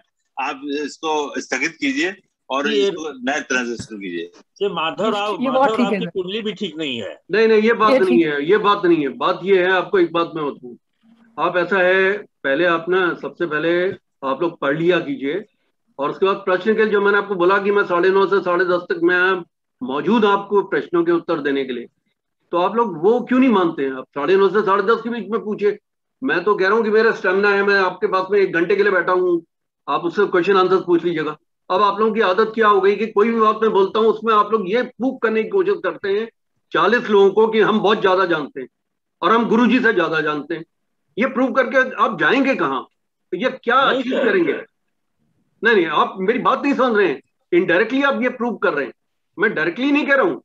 इनडायरेक्टली ये बात प्रूव हो जाती है. The moment you are questioning the basic wedge that I am actually trying to tell you something इसका साफ़ साफ़ मतलब ये निकलता है कि भाई आप ये प्रूव करने की कोशिश करें कि मैं ज़्यादा जानता हूँ. अगर आप ज़्यादा जानते हैं के छह चार्ट समझने की कोशिश कर रहा और जी आप जो छह चार्ट समझने की कोशिश कर रहे हैं वो एक apart from it but the point is most of students been talking all through अगर आप इस वीडियो को आप कल देखेंगे तो आप लोगों को खुद शर्म आएगी इस बात पे कि आपने मुझे बोलने का बहुत कम मौका दिया है, खुद ही आप ज़्यादा बोले। मतलब और फिर क्या हुआ है कि आपने बोला है, वो अनर्गल बोल दिया। फिर मैं, मुझे वो आपको क्लियरिफाई करना पड़ा, क्योंकि what you speak is going to effect the rest of the thirty eight people मतलब सैंतीस लोग यहाँ मौजूद हैं, वो भी इफ़ेक्ट हो जाते हैं। अगर आप कोई बात गलत बोल दें, जैसे वो नंबर्स को लेके, वो एक अर्थमेटिक को लेके बात उठ के चली आएगी, विषम और चम को लेके, जो कि वहाँ पे बिल्कुल रिलेवेंट पॉइंट नहीं था। उसका कोई मतलब ही नहीं बनता। आप उसे ग्रुप में डाल दीजिएगा मुझे अगर आप कोई कहीं से भी उसमें से कोई पॉइंट निकाल के ला सकते हैं तो भावात भावम न्याय के अंतर्गत मतलब आप ये समझो मैं इतना एक्सटेंसिवली पढ़ा हुआ आदमी हूँ मतलब मेरा इतना ज़बरदस्त एक्सपीरियंस है सब्जेक्ट के अंदर इतना टीचिंग का एक्सपीरियंस है और मैं I am ever ready to take up any kind of question request to you is that what Mr. Pradeep Dalela Sahab has said, he has got a point to say because we have to take, we have to have the hand holding with each one of you and have to see that everybody understands what I'm teaching. और वो possible नहीं हो पाएगा अगर छह आदमी बात करेंगे तो। मैं तो सर सोच रहा था कि I should drop out from here this class because I am not understanding anything. देखिए जी ऐसा एक सिंपल सी बात है। तो कभी भी ना जजमेंटल एक सिंगुलर चीज़ पे कल की क्लास में आपको अच्छा लगा था। अब एक सिंगुलर चीज़ पे आज जो है ना सभी को मैसेज क्लियर हो गया है। अब मैं कल से क्या करूँगा कि कोई प्रश्न आपने पूछना होगा वो आप लोग साढ़े नौ बजे से मतलब नेक्स्ट क्लास से साढ़े नौ से साढ़े दस के बीच में पूछेंगे। मेरे पास right, में मेरे पास में एक तरीका है जैसे मैं आपको म्यूट कर सकता हूँ you can't unmute yourself तो वो मैं आपको पहले पढ़ा दूँगा पढ़ाने के बाद मैं रुका रहूँगा एक घंटे। साढ़े नौ बजे हमारा एग्जिट टाइम होता है लेडीज़ को अपना खाना भी बनाना होता है दूसरा काम करना होता है साढ़े नौ पे वो जा सकते हैं। लेकिन उनको चूँकि वीडियो मिल जाएगा तो सिर्फ़ they been for three fourth of the time with me तो कोई ऐसी कोई प्रॉब्लम की बात नहीं अब, देखिए, अब इतना टाइम तो है नहीं कि रिवर्ट करें उस वाले को। मैं चाहता हूँ कि अब जो समय है उसमें अगर आपने, जो मैंने आपको इम्पोर्टेंस ऑफ़ डिविजनल चार्ट और ये डिविजनल चार्ट देखने की जो विधि बताई है, उसको, उसके आगे का जो नोट मैंने आप लोगों को भेजा है, उसमें क्या है वो मैं आपको बता देता हूँ। उसमें एक्चुअली ये मुझे वर्बेटिम समझाने की ज़रूरत नहीं है। एवरी ये एडल्ट क्लास है सबको मालूम है इंग्लिश में बड़ी सिंपल इंग्लिश में लिखा है। उसका मैं आपको ना एक सार बता देता हूँ जो पॉइंट्स लिखे उसका सार ये है जिसमें methodology of looking at the divisional chart उसके अंदर जो बातें बताई गई हैं वो बातें ये हैं कि उसमें मैंने ये समझाने की कोशिश की है कि एक मतभेद है। एक मतभेद ये है जो ये कहता है कि आ, हमारे एक्चुअली जो हमारे स्टेजेस हैं उसमें सारे के सारे स्टेजेस बृहद पाराशर होराचात और ऋषि पाराशर की ही बात को प्राथमिकता देते हैं। तो हम ऋषि पाराशर की बात को ही हम प्राथमिकता देंगे। इसमें ऋषि पाराशर ने ये कहा है कि डिविजनल चार्ट में ग्रहों की बलाबल को या उसकी स्ट्रेंथ को देखने के लिए हम देखते हैं। तो मेथोलॉजी ये होनी चाहिए कि डीवन चार्ट और कोई भी divisional chart in tandem resonance के साथ में पढ़ा जाना चाहिए। कहने का मतलब है कि जैसे उन्होंने कहा कि एक तो कारक इसमें इंपॉर्टेंट है, दूसरा इसके अंदर आपका डीवन का लगना लॉर्ड इंपॉर्टेंट है, दूसरा नवांश पति, क्योंकि नवांश को सेकेंड इन ऑर्डर ऑफ़ राशि उसको विश्वा बल दिया गया है और तीसरे नंबर पर देशकांड को दिया गया है। तो हर डिविजनल चार्ट में वो कहते हैं कि नवांश पति की पोजीशन को देखो। फिर उन्होंने कहा डिविजनल चार्ट से आने वाले गुड और बैड साहब, आपका आइडिया ठीक है, लेकिन लोग बोल सकते हैं साढ़े नौ के बाद, लिखने की उस समय लिख के रख लें, उस समय लिख के रख लें, लेकिन क्या होता है, रोहन साहब, मेरा भी कंसंट्रेशन ना वो हर बार पॉपअप करता है तो कंसंट्रेशन भंग होता है।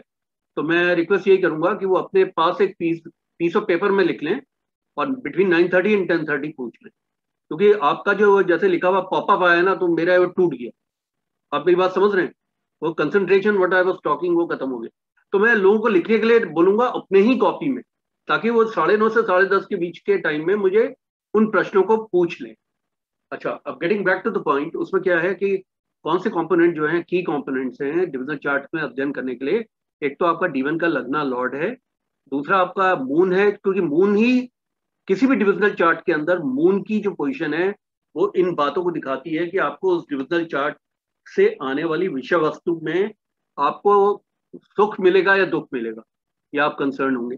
जैसे कि उसका एक एग्ज़ाम्पल है कि सप्तांशा में अगर मून आपका जो है अफ्लिक्टेड है यानी कि अगर दुख स्थानों में है अनडिग्निफाइड है, नीच का है या दूसरी किसी परेशानियों में फंसा हुआ है, राहु केतु एक्सेस में तो आपको उससे संबंधित आपको अच्छे परिणाम नहीं मिलेंगे।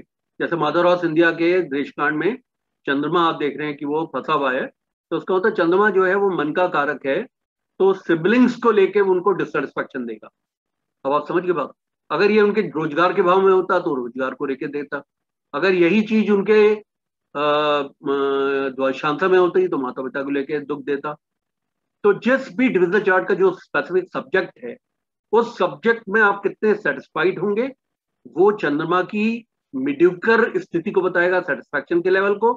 और कितना आप एग्जिबिरेंट होंगे, कितना आप खुश होंगे, कितना आप हर्षित, उल्लासित होंगे, ये उसकी अच्छी पोजीशन को बताएगा। यानी कि वो त्रिकोण में बैठ जाए, शुभ भाव में बैठ जाए, उच्च का बैठ जाए शुभ ग्रहों से दस्त हो, शुभ ग्रहों के कंजंक्ट हो, इस तरह से अगर चंद्रमा बैठेगा तो उस डिविजन चार्ट के सब्जेक्ट में आदमी को बहुत हर्षित बनाएगा, यानी उसको बहुत अच्छे फल मिलेंगे। इसके बाद पहला जो कंपोनेंट था, वो था डी वन का लगना लॉर्ड, दूसरा जो कंपोनेंट था डी नाइन का लगना लॉट तीसरा जो कंपोनेंट था, वो चंद्रमा। चौथा कंपोनेंट है, प्रत्येक डिविजनल चार्ट का एक कारक प्लैनेट है। जैसे कि देशकांड का, मंगल छोटे भाई बहनों का छोटे भाई का और गुरु बड़े भाई का और शुक्र बहन का कारक है। तो वो कारक ग्रहों की स्थितियों को देखा जाता है।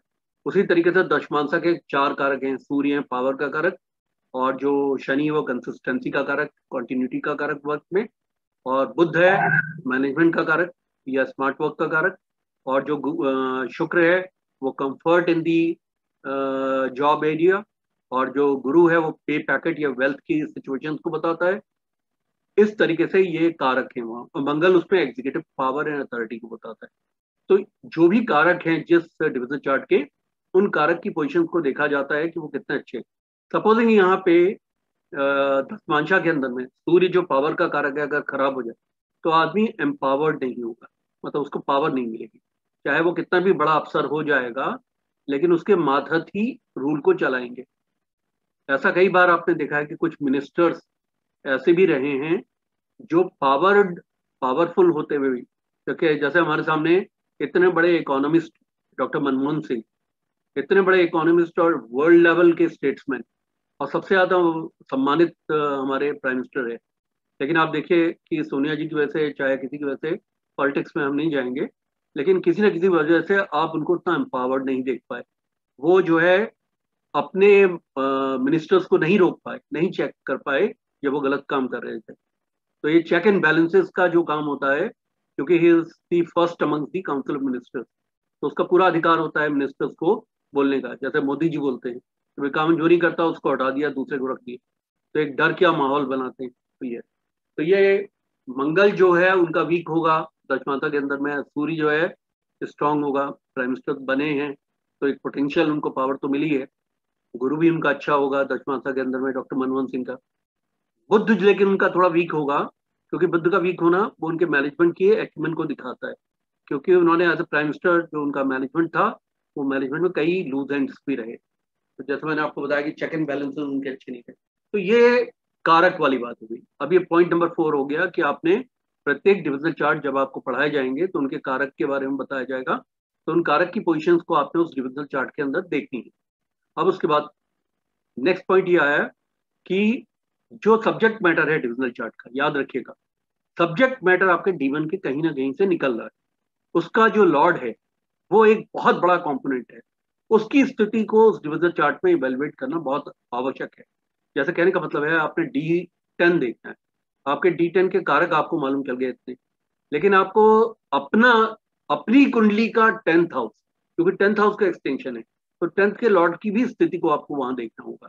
अगर टेंथ का लॉर्ड अगर आपके दशमांसा के चार्ट में अच्छी तरीके से नहीं बैठा है, खराब बैठा है, खराब स्थिति में बैठा है तो फिर क्या होगा कि वो भी आपके उस पर्टिकुलर डिविजनल चार्ट को लेकर आपको मिड्यूक्रिटी में लेके आ जाएगा अच्छी स्थितियों में नहीं लाए। अब इसमें मेजोरिटी स्पीक रूल चलता है। इसके अलावा जो नेक्स्ट कंपोनेंट होता है, वो डिविजनल चार्ट का लगना। तो डिविजनल चार्ट का लगना अगर अच्छी पोजीशन में है तो उसका मतलब वो वो डिविजनल चार्ट जो है स्ट्रांग है, उस स्ट्रेंथ में है और अपने डिविजनल चार्ट जो है अपनी स्थितियों को अच्छा देगा। इसके अलावा एक पॉइंट इसके अंदर, अब ये तो पॉइंट कॉम्पोनेंट्स है जिनको आपने इवेलुएट करना है। इसके अलावा राशिगत और भावगत, इन स्थितियों के में ही दो प्लैनेट बैठता है। भावगत बैठेगा या तो अच्छा या राशिगत बैठेगा अच्छा या दोनों ही अच्छा बैठेगा। राशि में भी अच्छा बैठ गया, भाव में भी अच्छा बैठ गया, लेकिन आपको एक बात को याद रखना है। भावगत बैठे, राशिगत बैठे भावगत पोजीशन को थोड़ा वेटेज ज़्यादा दिया गया इसीलिए बर्थ टाइम रेक्टिवेशन की आवश्यकता बहुत ज़्यादा होती है डिविजन चार्ट के लिए, क्योंकि अगर वो भावगत अच्छा है और राशिगत भी अच्छा है, लेकिन राशिगत ज़्यादा अच्छा है और भावगत कम अच्छा है तो उसके प्रभाव कम हो जाएँगे। लेकिन भावगत ज़्यादा अच्छा है और राशिगत थोड़ा कम है, यानी मित्र की राशि में बैठा है तो राशि में नहीं बैठा। लेकिन भावगत बहुत अच्छा बैठा है, त्रिकोणों में बैठ गया तो क्या होगा कि स्टूपेंडस रिज़ल्ट से तो भावगत को एक वेटेज ज़्यादा दी गई है डिविजनल चार्ट के अंदर किसी भी ग्रह की स्थितियों को लेकर। इसके बाद एक मैडम ने मुझसे कल कहा था वो भी मैंने उसी लेक्चर के अंदर डाला है। वो मैडम आज आज आई हैं कि नहीं है गायत्री महेश्वरी जी या कोई और किसी ने एक प्रश्न पूछा था मुझसे कि डिविजनल चार्ट में किससे क्या देखते हैं? मैडम आपने पूछा था? हाँ सर मैं हाँ। हाँ सर हाँ इस प्रश्न का मैं आपको उत्तर देना चाहूँगा। आपने एक प्रश्न पूछा था कि सबसे पहले आप हमें वाकिफ कराइए कि किस डिविजनल चार्ट से क्या देखा जाता है। तो ये जो आपका था, इसका मैं आपको इसका आंसर, ये लास्ट में मैंने इसीलिए इसको इंक्लूड कर दिया ताकि आपको प्रश्न का उत्तर मिल जाए। अब, और आपका बिल्कुल कहना ठीक है, जब हम इंट्रोडक्टरी क्लास दे रहे हैं, जब हम बता रहे हैं कि किस भाव से क्या मिलेगा तो आपको हक होता है इस बात को जानना कि किस डिविजनल चार्ट से कितनी ढेर सारी चीज़ें आप देख सकते हैं। तो मैं आपके सामने ये स्क्रीन शेयर कर रहा हूँ और ये हमारा एंडिंग हमारा स्टेटमेंट होगा। तो अब आप इसको देखिए। देखिए, जो दस वर्गा चार्ट होते हैं मैडम, इसमें एक राशि चार्ट होता है, जिसे डीवन कहते हैं। और चूँकि इसे दस वर्गा में क्यों इंक्लूड किया गया है? क्योंकि जैसे मैंने आपको बताया कि जो दस वर्गा जितने भी दस वर्गा चार्ट्स हैं, उन सभी चार्ट्स को हमेशा इन टेंडम विद दी लगना चार्ट या राशि चार्ट राशि चार्ट और लग्ना चार्ट नेटल चार्ट ये एक ही चीज़ है। तो राशि चार्ट के साथ में ही उसको पढ़ा जाता है। तो उसको राशि चार्ट पहला होता है, दूसरा होता है होरा चार्ट जो कि डी टू जिसको बोलते हैं, जो one by two of a sign होता है। ये आपकी वेल्थ की स्थिति को, धनाढ़ होने की स्थिति को, उसका कितना लेवल है वेल्थ का आपका, और कितने आपको विंडफॉल्स मिलेंगे। विंडफॉल्स का मतलब होता है कि अचानक आने वाले धन संपत्ति। जैसे कहने का मतलब है कि पिताजी ने आपके पिताजी ने कोई मकान भेज दिया सपोज़ छह करोड़ का और उन्होंने जो है आपके दो भाई हैं और आप, आप एक हैं। नॉर्मली हमारी सोसाइटी में भाइयों में ही बंटवारा हो जाता है तीन तीन करोड़। लेकिन उन्होंने पिताजी ने कहा नहीं मैं गायत्री जी को भी दूँगा ये मेरी बेटी हैं तो दो करोड़ सबको दो दो करोड़ दे दिए।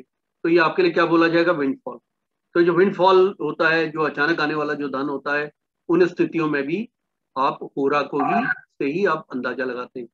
और पूरा से एक चीज़ का और पता चलता है जो मैंने यहाँ नहीं लिखा, वो ये है कि आप किस जगह से आए हैं। क्योंकि हो रहा ही हमें बताता है कि हम पितरों के बीच में से आए हैं। हम वन ऑफ़ द पित्र पित्र हैं क्या इस परिवार के? पूर्व, पूर्वज हैं क्या इस परिवार के? या हम डेटीज में से आए हैं? या हम भगवानों की श्रेणी से आए हैं? तो इस प्रकार से डी टू चार्ट से या होरा चार्ट से इतनी चीज़ें देखी जाती है। फिर आता है द्रेशकांड या डिग्नेट डी थ्री चार्ट। ये वन थर्ड ऑफ़ साइन होता है तो मैंने अभी आपको बताया दस डिग्री का एक होता है, दस से बीस बीस से तीस। तो ये करेज के लिए देखा जाता है एंटरप्राइजिंग होने के देखा जाता है। पता एंटरप्राइजिंग का मतलब है कि कोई आदमी कितना रिस्क टेकर है। इसी प्रकार से डिजीजेस के लिए मैंने अभी आपको दिखाया देशकांड रोग के लिए देखा जाता है। इसी प्रकार मैंने आपको बताया मोड ऑफ़ डेथ के लिए भी इसको देखा जाता है। बाईसवें देशकांड को देखते हैं। कि मोड ऑफ़ डेथ क्या होगा? उसे एक खर्द देशकांड बोला जाता है। इसी प्रकार से सिबलिंग्स के लिए आपके भाई बहनों के लिए देखा जाता है। उसके बाद चौथे नंबर पे आता है सप्तांशा डी सेवन ये वन सेवंथ ऑफ़ राशि होती है। तीसरी की राशि को वन सेवंथ किया जाता है। ये बच्चों के लिए देखा जाता है, उनकी करियर के लिए, उनकी एजुकेशन के लिए। कितना पेरेंटल केयर आप कर रहे हैं। मैंने ये बात नहीं लिखी कि बच्चे कितना उत्तरदायी अपने आप को फील कर रहे हैं माता पिता के लिए। वो भी देखा जाता है। वो चीज़ यहाँ पे मैंने नहीं लिखी, क्योंकि बहुत लंबा हो जाता है अदरवाइज़ तो मैंने इसमें मेन मेन लिखा है कि आपको सप्तांशा चार्ट से पता चलता है कि आप बच्चों की कितना पेरेंटल केयर करते हैं, लेकिन इसमें आप टू एंड फ्रो मान लीजिए। टू एंड फ्रो का मतलब है कि ऐसे बहुत से योग्य बच्चे हैं जो विदेशों में जाके अपने माता पिता को वहाँ बुला लेते हैं सिटीजनशिप दिला देते हैं, उनको एक गाड़ी भी बड़ी सी खरीद के देते हैं और उनका, हमेशा उनका बहुत आदर सत्कार करते हैं और उनका बहुत ध्यान रखते हैं। और रोग हो जाता है तो वो परेशान होते हैं, माता पिता की बहुत सेवा करते हैं। तो ये सब डी सेवन चार्ट आपका सप्तांशा बताएगा। आया फिर पांचवा नौमांशा। नौमांशा डी नाइन है, जो कि one ninth of a sign है। तीस डिग्री के साइन को एक बटे नौ किया गया है, नौ से भाग दिया गया है तो तीन डिग्री बीस मिनट का एक साइन होता है। ये मैराइटल लाइफ के लिए देखा जाता है मैराइटल मैटर्स के लिए। कि शादी के लिए। तो इसका होता है शादी होना, ना होना डिलेड होना, किससे होना, शादी में स्पाउस का या किस तरीके का व्यवहार होना वेल्थ ऑफ़ स्पाउस उसकी अपनी नौकरी और उसका अपना धन, इसी प्रकार ब्लिसफुल मैरिज मैरिज जो है, आदमी कहेगी बड़ी, मैं किस्मत वाला हूँ, बहुत अच्छी मैरिज हुई है। इसी प्रकार से उस, वहाँ से, मैंने आपको बताया हर भाव से, उसके अच्छे होने और बुरे होने का सिक्के के दोनों पहलू उसमें दिखाई पड़ते हैं। तो उसमें separation fight friction legal things divorce वगैरह, वो भी नौमांशा चार्ट बताता है। अब छठे नंबर पे आता है दशमांशा जो कि डी टेन है, जो आपके रोज़गार को बताता है, वो स्ट्रेंथ को बताता है रोज़गार की, कि आप कितने बड़े लेवल पे आप काम करेंगे, कैसा काम करेंगे। इसी प्रकार से वो rise and fall in career बताएगा कि आप कितना उठेंगे, कितना आप फॉल करेंगे कैरियर में। सस्पेंशन होगा, कि प्रमोशन होगा, कि डिमोशन होगा। लेवल जो आप अचीव कर सकते हैं अपने प्रोफेशनल कैरियर में, उन सब बातों को डी टेन चार्ट आपका बताता है। फिर आता है त्रिमशांता चार्ट सातवें नंबर पे, जिसे हम डी थर्टी बोलते हैं। ये वन बाई थर्टी तो बस साइन होता है। ये सारे अरिष्टों के बारे में बताता है। अरिष्ट का होता है जितनी नेगेटिव घटनाएँ हमारे जीवन में होती है इवल्स होते हैं या हैप्पीनेस होती है, ये आपको इवल फ्री होंगे मिजरीज फ्री होंगे या मिजरीज आपको होगी। इसके अलावा यही त्रिमशांता चार्ट आपके कोर बिहेवियर को भी बताता है। यानी जैसे आप, मैंने आपको बताया कि दरिशकांड चार्ट से भी आपको भावों का बल और ग्रहों का बल और एक आदमी के बिहेवियर के बारे में पता चलता है। क्योंकि ये प्रथम हाउस कब को भी दिखाता है? इसी प्रकार से डी थर्टी चार्ट से एक आदमी का जो एक्चुअल बिहेवियर है, वो भी दृष्टिगोचर होता है। जब मैं आप लोगों को पढ़ाऊँगा तो आप लोगों को बहुत इंक्लूसिव वे में आपको, बहुत ही पेनिटेटिव वे में आपको समझ में आ जाएगा कि इतनी ढेर सारी चीज़ें इससे निकलती हैं। इसके बाद फिर द्वादशांसा आता है, जो कि डी ट्वेल्व है, जो कि माता पिता के लिए देखा जाता है पेरेंटल केयर के लिए देखा जाता है। इसमें उनकी हेल्थ उनकी वेलबींग उनकी फाइनेंशियल कंडीशन या उनको कोई नेम फेम एक्लेट्स उनको कोई मिले हैं कि नहीं मिले, उनके एजुकेशनल स्टेटस क्या रहा है, वो लीगेसी कोई आपके लिए छोड़ रहे हैं कि नहीं छोड़ रहे हैं यानी कि इनहेरिटेंस आपको उनसे मिल रहा है कि नहीं तो सारा कुछ जो है द्वादश क्षमता डी ट्वेल्व चार्ट बताता है। फिर आता है सोट क्षमता जो डी सिक्सटीन है। ये आपके एसेट्स बताता है कि आपके मिल्कियत कितनी होगी, आप हजारपति होंगे, लखपति होंगे, करोड़पति होंगे, अरबपति होंगे। इसी प्रकार से सोट क्षमता चार्ट आपके व्हीकल्स की पोजिशन दिखाएगा कि आपको बीमर ऑडी वगैरह मिलेगा कहीं मिलेगी यानी आपको ऑडी मिलेगी बी मिलेगी मर्सिडीज मिलेगी, या आपको छोटी गाड़ियाँ मिलेगी एस मिलेगी। इन सब बातों को बताता है। और छोटतामता चार्ट से होम के बारे में पता चलता है कि आपका अपना खुद का घर होगा कि नहीं होगा, उसकी कंडीशन कैसी होंगी, उसमें डोमेस्टिक पीस एंड हैप्पीनेस की स्थिति होगी। इसे डी सिक्सटीन चार्ट बोलते हैं। उसके बाद लास्ट जो टेंथ चार्ट है, वो है सस्तियांशा सस्तियांशा जो डी सिक्सटी चार्ट है, वो न केवल ग्रहों के स्ट्रेंथ और हाउसेस के स्ट्रेंथ को बताता है, वो हमारी पास्ट लाइफ के कर्मास को भी बताता है। और साथ में ये हमें हेल्प करता है ट्विन बर्थ को डिफाइन करने के लिए। यानी कि जुड़वा जो बच्चे हो जाते हैं कुछ मिनट के फासले से तो डी सिक्सटी के द्वारा उनका निर्णय किया जाता है और दूसरा नाडियांशा के द्वारा निर्णय किया जाता है, जो डी वन फिफ्टी है वन बाई वन फिफ्टी इन दोनों को देख के हम जो है ट्विन बर्थ को एक्सप्लेन करते हैं। तो इस प्रकार से मैंने जितना भी लिखा हुआ है, उसका सारा मैंने आपको जस्ट बता दिया। इसको आप लोग स्वयं पढ़ लीजिएगा। मतलब एक्चुअली क्या होता है, जब आप लिखने पे आते हैं तो आप एक्सप्लेन करते भी लिखते हैं कि ताकि आपको मालूम है जब कोई व्यक्ति पढ़ रहा होता है तो उस समय आप तो सामने होते नहीं तो कोई भी चीज़ उससे छूट ना जाए। अगर उसके दिमाग में कोई किसी प्रकार का प्रश्न आए तो मेरा लिखने का तरीका हमेशा बहुत हाईली डिस्क्रिप्टिव रहता है कि ताकि कोई लूज एंड्स ना छूटें और व्यक्ति को प्रश्न पूछने की स्थितियों से ना गुजरना अब दस बज चुके हैं, किसी ने कुछ पूछना हो पूछ लीजिए। मैं भी इंसुलिन डिपेंडेंट हूँ। लगातार मैं आप लोगों के साथ बात कर रहा हूँ, सात बज के पंद्रह मिनट के बाद। दस बजे तक मैं काफ़ी मेहनत कर चुका हूँ।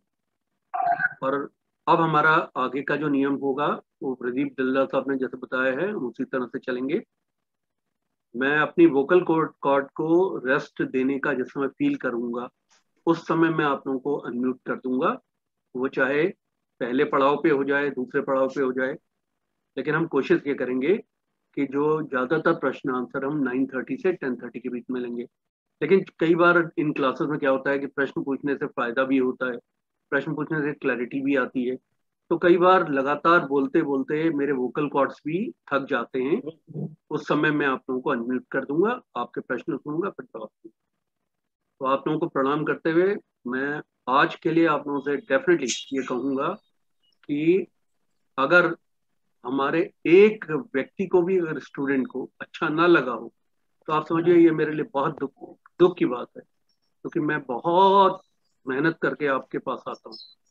Yes, मैं चाहता हूँ हाँ, और मैं हैंड होल्डिंग चाहता हूँ। मैं hand holding with every one मैं चाहता हूँ गायत्री जी भी मेरे साथ रहें चंदा जी भी मेरे साथ रहे और उतने ही लेवल पे आप लोगों के साथ में लेवल प्लेइंग प्लेइंग पे रहे। आप सबको मैं प्रणाम करता हूँ और मैं इसको ऑफ़ करता हूँ। Sir good night good night thank you sir Ram sir take take care